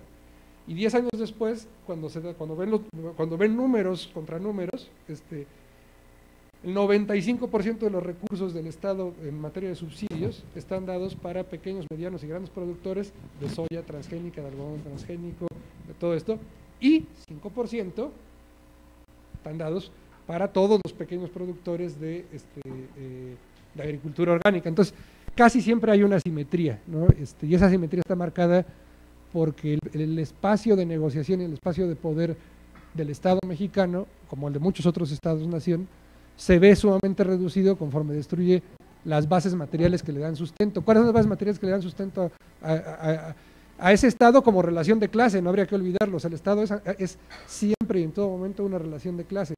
Esa relación de clase está autosostenida cuando hay una producción local con un mercado interno local, con intereses económicos de una clase dominante local que están arraigados a un espacio territorial determinado. Conforme se decide propositivamente el, Estado mexicano desmantelar eso, que no haya una industria nacional, que la producción alimentaria dependa de otros lados, este, entonces se va cediendo ese espacio de relación social y la relación social predominante o importante o relevante es la relación social que está marcada de manera supranacional, por las, que va más allá de las fronteras. ¿Quién va a pesar más? ¿El pequeño, el pequeño productor que esté pidiendo eh, eh, un apoyo o un programa de intercambio de semillas este, eh, horizontal por la vía del Estado? ¿O los acreedores que, que, tiene el Estado mexicano, cuyo volumen de deuda pues se multiplicó por 150% este, en los últimos seis años, ¿no? Una cosa de este estilo, ¿no? Lo acaban de ver en Grecia, ¿no? Es decir, eh, la, deuda de Grecia equivale a no sé cuántos años de su Producto Interno Bruto. La deuda externa mundial global del mundo del día de hoy es 270% del Producto Interno Bruto global, del Producto Social global. Es decir, la producción está hipotecada a dos años, a 2.7 años, una cosa de este estilo. ¿no? Es decir, si, ahorita se dejara de contratar deuda y toda la producción de los siguientes 2.7 años se dedicara a pagar la deuda externa, pues entonces ya estaríamos tablas con el sistema financiero. Entonces, en ese contexto, yo digo, el margen de maniobra que hay por la vía del Estado va a ser muy limitado. Entonces, pero entonces, bueno, ¿qué pasa? Pues ya, nos tiramos por la ventana, este, eh, o, o qué hacemos, ¿no? Porque además está, este otro problema, ¿no? Pensar, la- pensar una, una, una especie como de, de biotecnología alternativa o algo así, diría, di- di- diría en corto, ¿no? Sea, pues eso, es algo que tenemos que inventar todavía, ¿no? O sea, porque va a implicar un cambio que es muy difícil que el propio, eh, que el propio científico esté dispuesto a dar per, per se. Es decir, todo el sistema de puntitos del SNI, todo el sistema de, este, eh, del statu quo que dice yo soy doctor, el otro no es doctor, este es este SNI 5000, el otro no es SNI 5000, este, eh, que al final es un sistema de tanto, de tanto tienes, tanto vales, tanto produces, tanto vales, porque está basado en la lógica del destajo, ¿no? Es decir, la actividad académica desde hace muchos años, y esta universidad fue, perdón, pues fue de las primeras en, levantar la mano y decir sí me formo en el programa, eh, asumió la lógica de producción por destajo, ¿no? Eh, por pieza. Y Marx nos dice, el sistema de, de producción por pieza es un gran sistema, porque traslada todos los sistemas de vigilancia, coerción y represión al trabajador mismo. Entonces el trabajador mismo, gustoso, se va a quedar a trabajar hasta altas horas de la noche, eso le va a dar tres papers más, aunque eso eventualmente le pueda originar un infarto, por citar un caso conocido este, recientemente. ¿no? Eh, entonces, eh, insertos en esa lógica, tendríamos que ser capaces de salirnos. ¿Y, y qué, implica, qué implica salirnos? Salirse no es, hacer no, es imaginar, no, no es concentrarse y decir yo no formo parte del capitalismo, yo no formo parte del capitalismo, o yo hago ciencia buena y hay otros que están haciendo la ciencia mal, ¿no? Es reconocer que el sistema nos está abarcando a todos y que tenemos que en- en- empezar por enfrentarlo. Es decir, no es que el problema esté por fuera de la ciencia, el problema está dentro de la, de la propia ciencia. Entonces, en la medida en que la medicina, los propios biólogos empezamos a, a- a- no mirarnos solo entre nosotros, y entonces ahí por eso me gustan este tipo de espacios, porque vamos a hablar luego con gente de otros lados, pero incluso a veces es más padre cuando te dan la vuelta este, en un campo de cultivo y te explican el ciclo del nitrógeno, sin hablar del, del ciclo del nitrógeno, en la medida que somos capaces de vernos eh, y, empezar, a voltear a ver para otro lado, entonces también empieza a construir este, eh, pues otras posibilidades de, otras posibilidades de acción, ¿no? Porque de otra manera vamos a ser si- sistemáticamente cooptados. Es decir, el Banco Global de Semillas de Svalbard recibe dinero de un montón de gobiernos del mundo y de Monsanto, de Pioneer, de todas estas grandes empresas que están partiendo de la misma lógica. La lógica es la biodiversidad o la, agrobiodiversidad, si se quiere ahorita, existe como, como entidades fijas, aisladas, que, dicho sea de paso, como pensaba Linneo en el siglo XVIII, ¿no?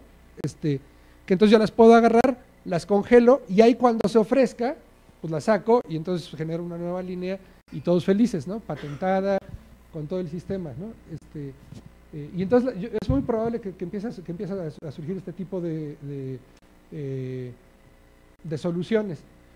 Pero en medio hay un problema, y, el- y en medio del problema es hasta dónde las necesidades de acumulación del capital pueden permitir esperar o no esperar.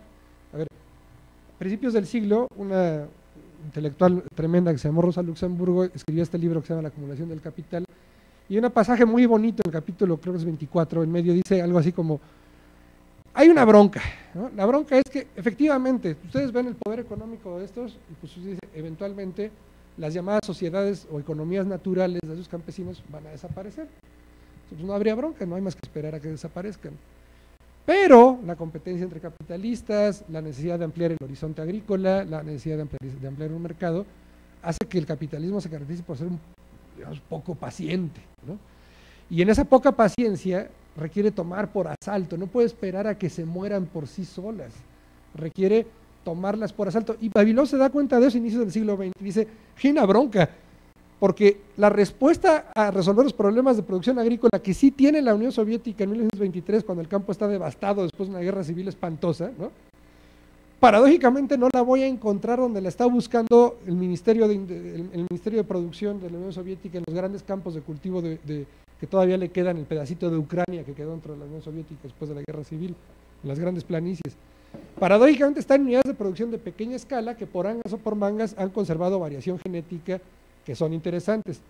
Claro, hay una diferencia importante respecto a Svalbard y, este, y a lo mejor es ahí parte de, la respuesta a esto de, qué hacer, ¿no?